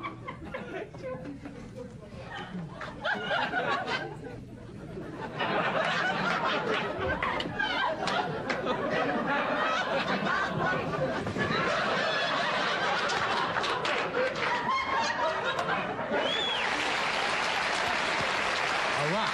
Man is a rock. Man is really a he's rock. the greatest sucker for comedy. I mean, he kind of. See Marty Feldman go? Yes, Just went Marty went. Marty. we all laughed. It was hard. One one day when we were doing um, uh, in the, in the producers, Kenny Mars was doing the Crazy German with the pigeon duty on his helmet. Right. And uh, he was he was making a speech, and I was behind the camera eating a handkerchief, and there was the cameraman and the director of photography, and we all fell over with the camera at the same time. A lot of we just went. We just, and I cleared everybody away. You know, I, I, I cleared the. not. I said, everybody out. If you, this is professional. No laughing. Let the audience laugh, for God's sake. We'll watch it. Go ahead, Kenny. On the deck. Down. Why do I you mean, make just Why do you make this in black and white? the crayons? We lost all the crayons in the. we had such a big set. No, we black and white because James Whale made his pictures in black and white. We didn't want to make one of those, you know, dopey new ones, you know. Hey, This is the second picture, third picture, I guess you would direct. What's the hardest part about making Fourth. Fourth. Excuse me. Producers, the 12 chairs, blazing saddles, and Frankenstein, young Frankenstein. Of course. Thank you. Thanks, Mom. What's the hardest thing about making a film? Is there The holes. what? The holes. The holes? The holes in the side of the of the of the celluloid. Everything a hole. A hole. A hole. It's a million. It's a million. It's a billion. I mean, I mean, you know, the acting is nothing. The writing is nothing. The, Making the, those little the, holes. But every night. and then you get them And then they're all over and you don't know what they're doing. over. And then you, you, and then in your food, your potatoes. Uh, you started out in the mountains, didn't you? Yes. Filling in for the comic who got sick one night and you went out and didn't have an act. Good evening, ladies and germs. I just moved from Chicago, and boy, are my arms tired. That kind of stuff. I met a girl. I met a girl in Chicago. She was so skinny, the waiter said, "Check your umbrella." That kind of But stuff. one night, one night, I really wanted to turn the Jews around. Right. To do something insane. So I did everything but no punchline. Good evening, ladies and gentlemen. I just flew in from Chicago. It was a little nauseous. They looked, they looked, all right. I met a girl in Chicago. She was so skinny, I was worried. Very A little worried about her. I went to a doctor. Doctor, she's all right. I got a room in Chicago. The room was so small. I called up. I said, change the room. I mean, I did every single joke known to man, but no punch, just straight. Just, philosophy. This is a bad room. I don't like the room. They changed. And they looked. They, they said, there's a somewhere here. then I did. Then I did. You know, in the mountains, everybody was over like over 60. They didn't. They didn't get things right away. Right away. Like I say, ladies and gentlemen, the man of a thousand faces. They waited. They waited for a thousand. Right? After five. They want to see a thousand faces. How much? No, I, I was up, I swear, I was up to about 30, you know. I mean, how many faces can you... I said, when are they going to laugh? Oh. I mean, I mean, I don't, I don't lie. Then you went with Sid Caesar. The old show of shows with uh, with that mad, best. He was the crazy group. I would have been a comic 10 years earlier, but he was such a great vehicle for my passion. He could do anything. He mimicked people. I mean, he didn't do Bogart, he didn't do Cagney, he just did people recognizable types. He really was incredibly talented. He did everything phonetically. Sid's been on the show. You know, he did great phonetic German, Oh, French, uh, Spanish, Japanese, whatever. He's great. He's re- he's really and he's still great. And the problem with television is that it eats you up like little link sausages every week. So Right. it's difficult to stay alive when you're high powered. If you're a low key comic, you can stay Right. alive a, a little longer. You know. But Sid was too much. Sid was also the strongest human being. The strongest Physically. Physically, the golden boy. He didn't like a joke. He lifted the metal desk and the tire. I don't like it. He said, okay. no, don't have to be in. Don't have to be in. You feel it or don't you? Very early on, when we did the show of shows, we went to Chicago, uh, and I was writing for Sid. We played the Palmer House, the Empire Room at the Palmer House. And Sid rented a car, and we were driving in the car. Cab cut us off. Cab driver said things you cannot say on television. Sid said, moment, moment, sir, moment. Got out of the car, went to the cab driver. Cab driver wearing a yellow hat and a little leather bow tie. He's, and, and the cab driver is looking through this little clipper window. Remember those little clip? And he says to Sid, more invectives, more you, you know, very bad cursing. And Sid just said to him, "Do you remember birth?" Do you remember birth? Birth. He said, "What? Do you remember being born? Do you remember birth? Your birth?" He said, "No." What? He said, "We're going to reenact it." He grabbed him by the leather bow tie and began pulling him.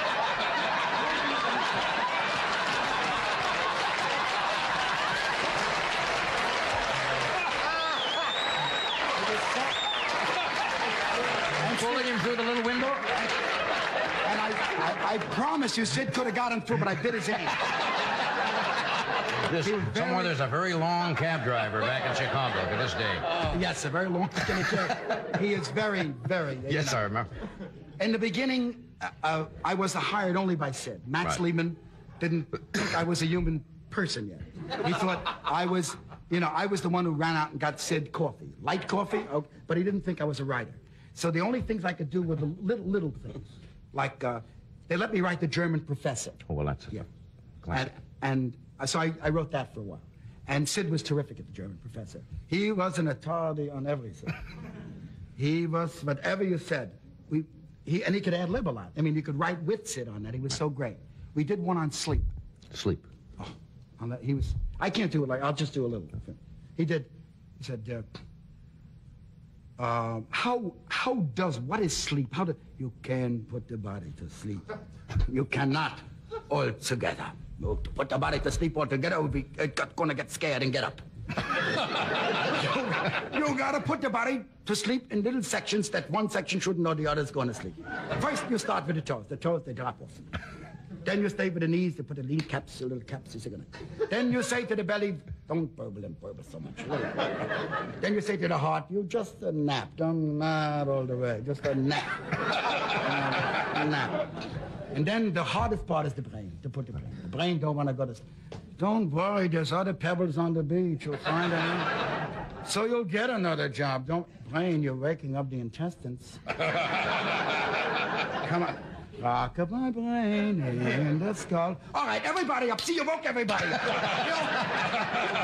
I mean, you could-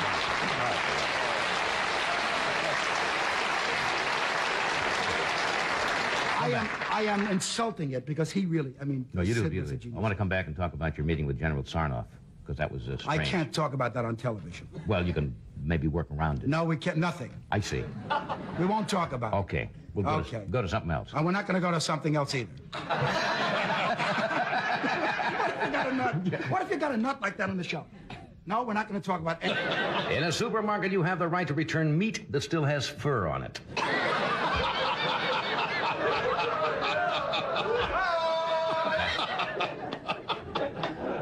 Normally, you should never shop for food while you're hungry. In a recession, you have the right to start out hungry and then eat your way to the checkout stand. A recession, Charlie. You have the right to say, hey, cut that out. If a tailor takes more than 40 minutes to chalk your inseams, that is a right. Hey, don't do that. You're starting to talk like Mel Brooks. I know. If you buy a used car and the brakes give out on the freeway, the only rights you have are the last rights, as you know. and when you're through shopping and realize you have a dollar forty to your name, you have the right to go over to Eliot Janeway's house and slap him around for half an hour. Did you know that? And give him. Those are just some of the rights, and I don't know why. I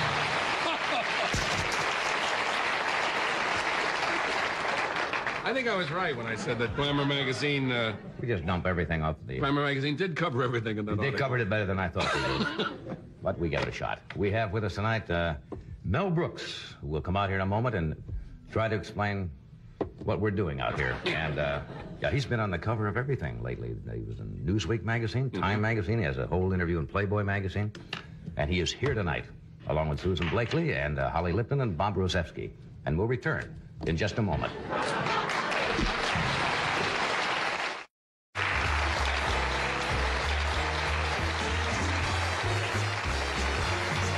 Hello there.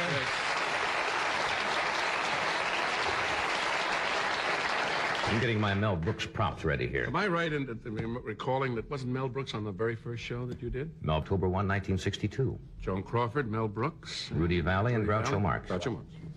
And you cannot pick up a magazine today without seeing the wonderful profile of uh, of my next guest, whom I've known. Um, it'll be a week Thursday. Yeah. He looks he looks best as an Indian. What? He makes the best He looking makes a fine Indian. And uh, Newsweek and uh, Newsweek said has a cover story. It says the Mad Mad World of Mel Brooks and about his latest film, Young Frankenstein. They said it was uh, nuttier and funnier and more inspired than anything else been done in movies today. Would you welcome, please, the adorable Mel Brooks?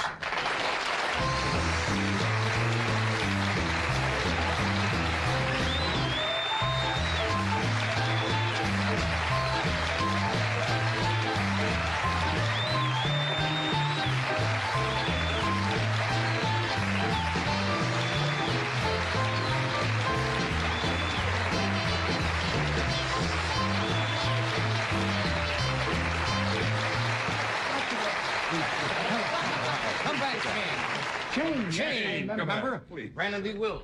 Brandon D. Willard, right? Ran over the hill after Alan Ladd. Alan right, Ladd remember. Shane. Meat with fur on it. Meat with fur on it. Only good joke in the monologue.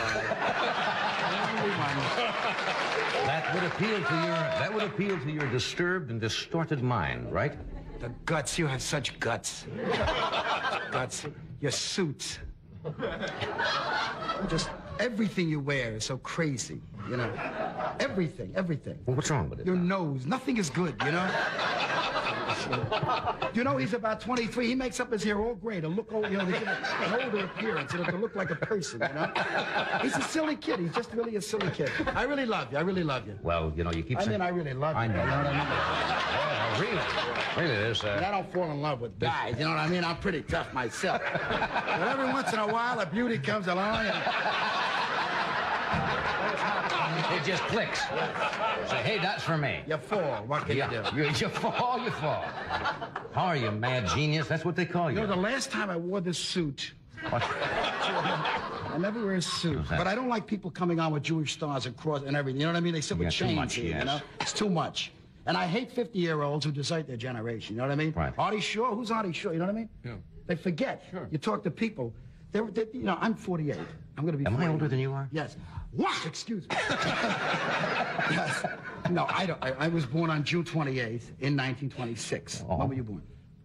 Why Cecilia. Are you holding a party? No, no, I'm just. Oh, I see. when were you born? How come? You know that. Yes. You never call me. I- I every will, time I, I will, see you, I I, run into you maybe what once every three or four months. Yeah. And I see you and Annie walking around the street. We don't go out. reading the marquees. You know. No, but seriously, we, we never go out. We're, we're like home buddies, you know what I mean? So we hardly go. But if we did go out, you're the first person we'd go out with. Okay. But October twenty third, You were October, what year? nineteen twenty five. October 23rd, 1925. Big fifty this year.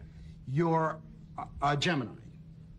What? I don't know what Here, is- I even give you the date and you didn't Yeah, know. Most people 20 tell you without even asking the date. You're, you're a Presbyterian. What, what is I'm a, that? I'm a Methodist. Yes, I'm a uh, I'm a Scorpio. I'm on the You're a cusp. Scorpio. Cusp. One of them. Ah, Scorpio. That's right. Yaha, come here, little girl. Yes. Yeah. That's what they always say about Scorpios. Sexually maladjusted and, you know, You know- cool whip and a spatula. you know, Cool whip and a spat. That's not you. That's not your image. I know it's not. You're a nice person. That's right. Except Jiminy Cricket. I told him. I told him. You know Yeah. what you'd said about my suit before I Yeah, came out. do look. I look like Jiminy Cricket. Don't do that, Pinocchio. Oh, Pinocchio, I'm ashamed of you. What is it? The? National Academy of Television Arts and Sciences. This I went to Dinah Shore's bar mitzvah at the at the at the Emmys, Right. and that's, the last time. Stiltman the suit. And Burt Reynolds made a wonderful speech. Mm-hmm. He loves her. He Oh, kisses her. He has half a mustache. He had smallpox when he was three, and only half of him can grow a mustache. So he grows this half is he grows normal, nice, regular, beautiful. This half they make one to you know, pow. Oh, come on now. Yeah, right, I swear. Is this a Hollywood scoop? No, I made it up. I'm buying it. I'm sitting here like, oh, really? I didn't The only two guys I go out with is you and him. You know You- what well, that's as long as Burt's in there. Can I have a sip of this? Yes, please. Little coffee that Ed has over there. the king lives. Are you crazy on the air? Are you Meshuggah? I want. I'm telling you, ladies and Jews, this. plenty. You need plenty water after that. Plenty water.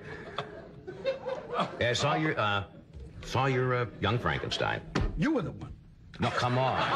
You're making No, a no. fortune. What are you No, talking it's- about? It's doing. It's doing. People are queued up all over the country coming in. It's a mad, crazy, nutty, funny take. I don't know what you call it a takeoff or parody because you follow the old uh, uh, Frankenstein pictures, his There was- yeah, it's it's a a- horror movie Yeah, too. there was a director many years ago by the name of James Whale who made all those wonderful Frankenstein pictures. He made Frankenstein, The Bride of Frankenstein, The Son of Frankenstein, The House of Frankenstein, Frankenstein's friend Murray. he made all those.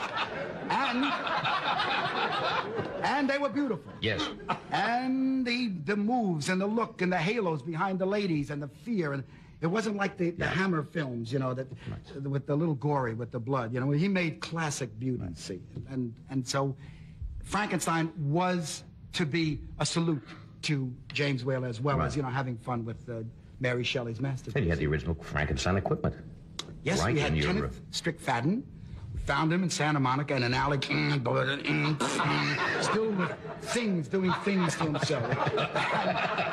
And we put him in a van. And brought him to the... You can't take him in an open car, let's face it, you know what I mean? With curtains on it. Uh, I- uh, And we brought him, and he made up all the, you know, the, the, the electric. It's a funny picture. Oh, thank you. Why didn't you appear in that one? Now, you were in Blazing Saddles. Too short, too short for that. Too short for... It's for tall people.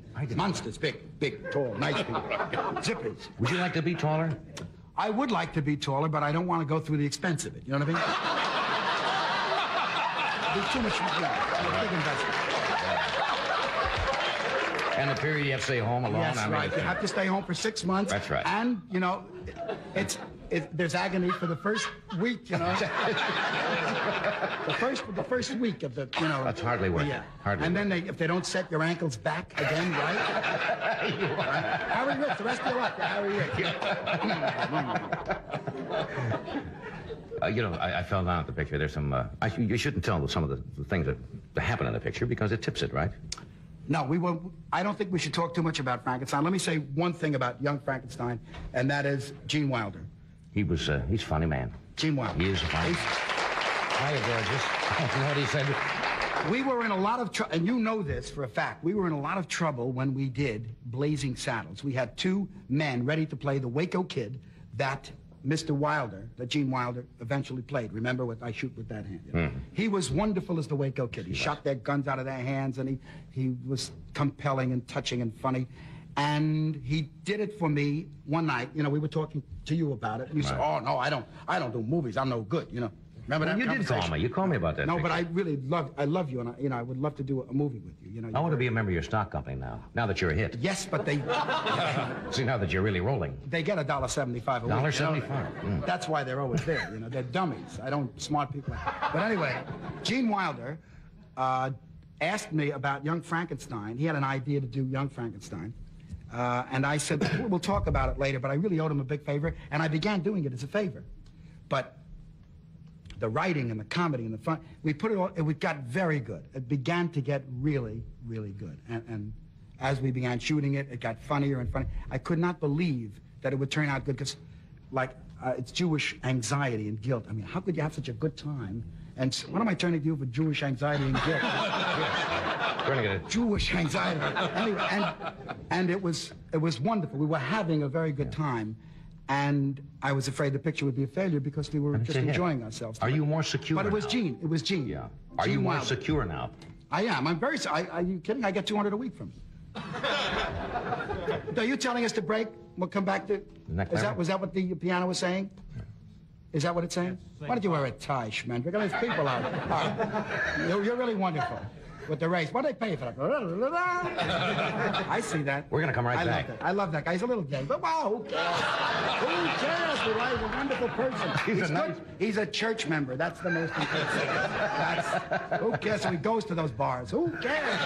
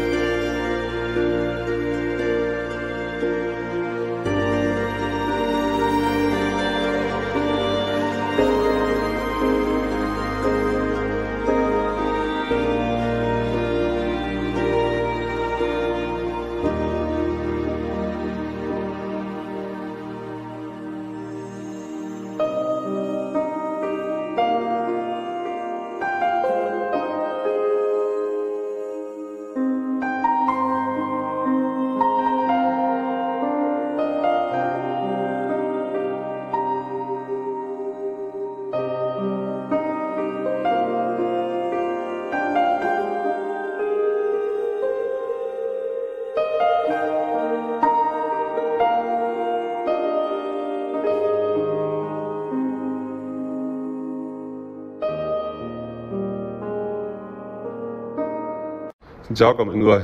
Và hôm nay bên em lại về một chiếc xe Hyundai i10 sản xuất 2014 Chiếc xe phiên bản màu đỏ và động cơ 1.0 số sàn. Chiếc xe này thì à, đã qua mùa lũ rồi. Vì vậy là có một cái mức giá rất là rẻ. Tuy nhiên là trước khi báo giá thì em sẽ quay tổng thể chiếc xe. Và bên em này về rất nhiều các dòng xe khác nữa. Qua mùa lũ mọi người nhé. Đậu bên kia đường một dãy này của xe em hết đấy. Bây giờ em sẽ quay tổng thể con xe này. Và mọi người muốn đến xem thì ờ, check thì cứ đến xem trực tiếp và em sẽ mở máy ra và cũng cho mọi người đi thử luôn. Còn hiện tại bây giờ em chỉ quay review nhanh thôi. Để còn ờ, quay các con xe khác. Con này 2014 bản 1.0 số sàn Hyundai i10 màu đỏ.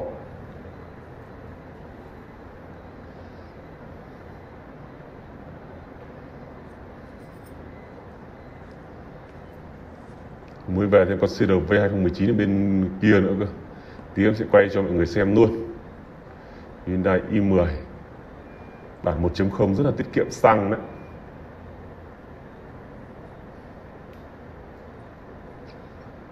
Bên kia đường là con CRV 2019 mọi người nhé. Turbo tí em sẽ quay. Và em sẽ quay uh, bây giờ em sẽ quay nội thất con này quay qua cho mọi người xem. Nói chung nó qua mùa nũ nhưng mà nội, nội ngoại thất nó rất là đẹp đây nội thất của nó, mọi người có thể thấy là rất là đẹp. Con này bản thiếu, vì vậy là không có bệ tỉ tay đâu. Tuy nhiên là da ghế mọi thứ rất là ok. Đấy. Nhìn qua thì cũng rất là đẹp.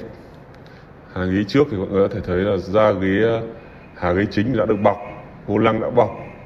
Đấy, mọi thứ rất ok. Phanh tay dvd tiểu kem nồi đầy đủ, mọi thứ rất là ok. Đấy.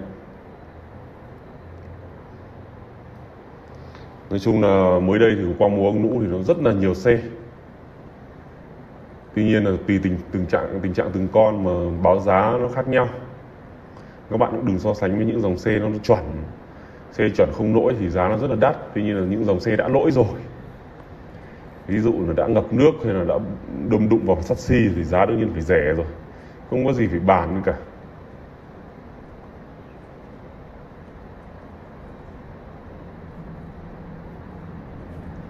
Con này tay nắm cửa mạng chrome lốp la răng cũng rất là mới nhé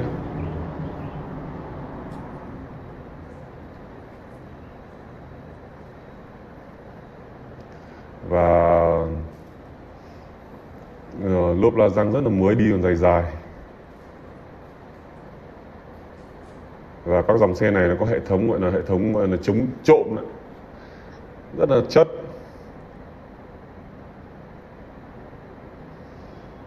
Xe màu đỏ. Hơi đồng bóng một chút. Đấy. số sàn thì tiết kiệm nhiên liệu nhưng mà lại hơi khó đi. Nói chung mua những con dòng xe này nó nhỏ gọn thế này thì đi đứng nó cũng dễ. Đi vào các đường thành phố hay là ngõ ngách nó rất là dễ, đơn giản.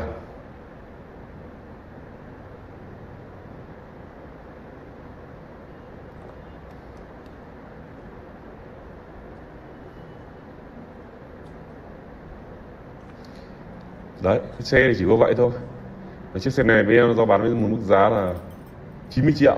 Cho một chiếc xe mà nó đã bị qua mùa lũ rồi mọi bà bên em nó fix hết nỗi rồi. Mọi người chỉ về chỉ việc đi thôi. Đi, trên một trường nắng đưa con đi học. Nói chung là thế thôi. Vì nó đã có lỗi rồi thì các bạn biết rồi đấy. Ai mua thì lại sớm với em. Nếu em ghim đã bán thì không còn nữa còn em em chưa ghim gì thì vẫn còn. Xin chào cả mọi người những ai mua liên hệ sớm. Xin chào.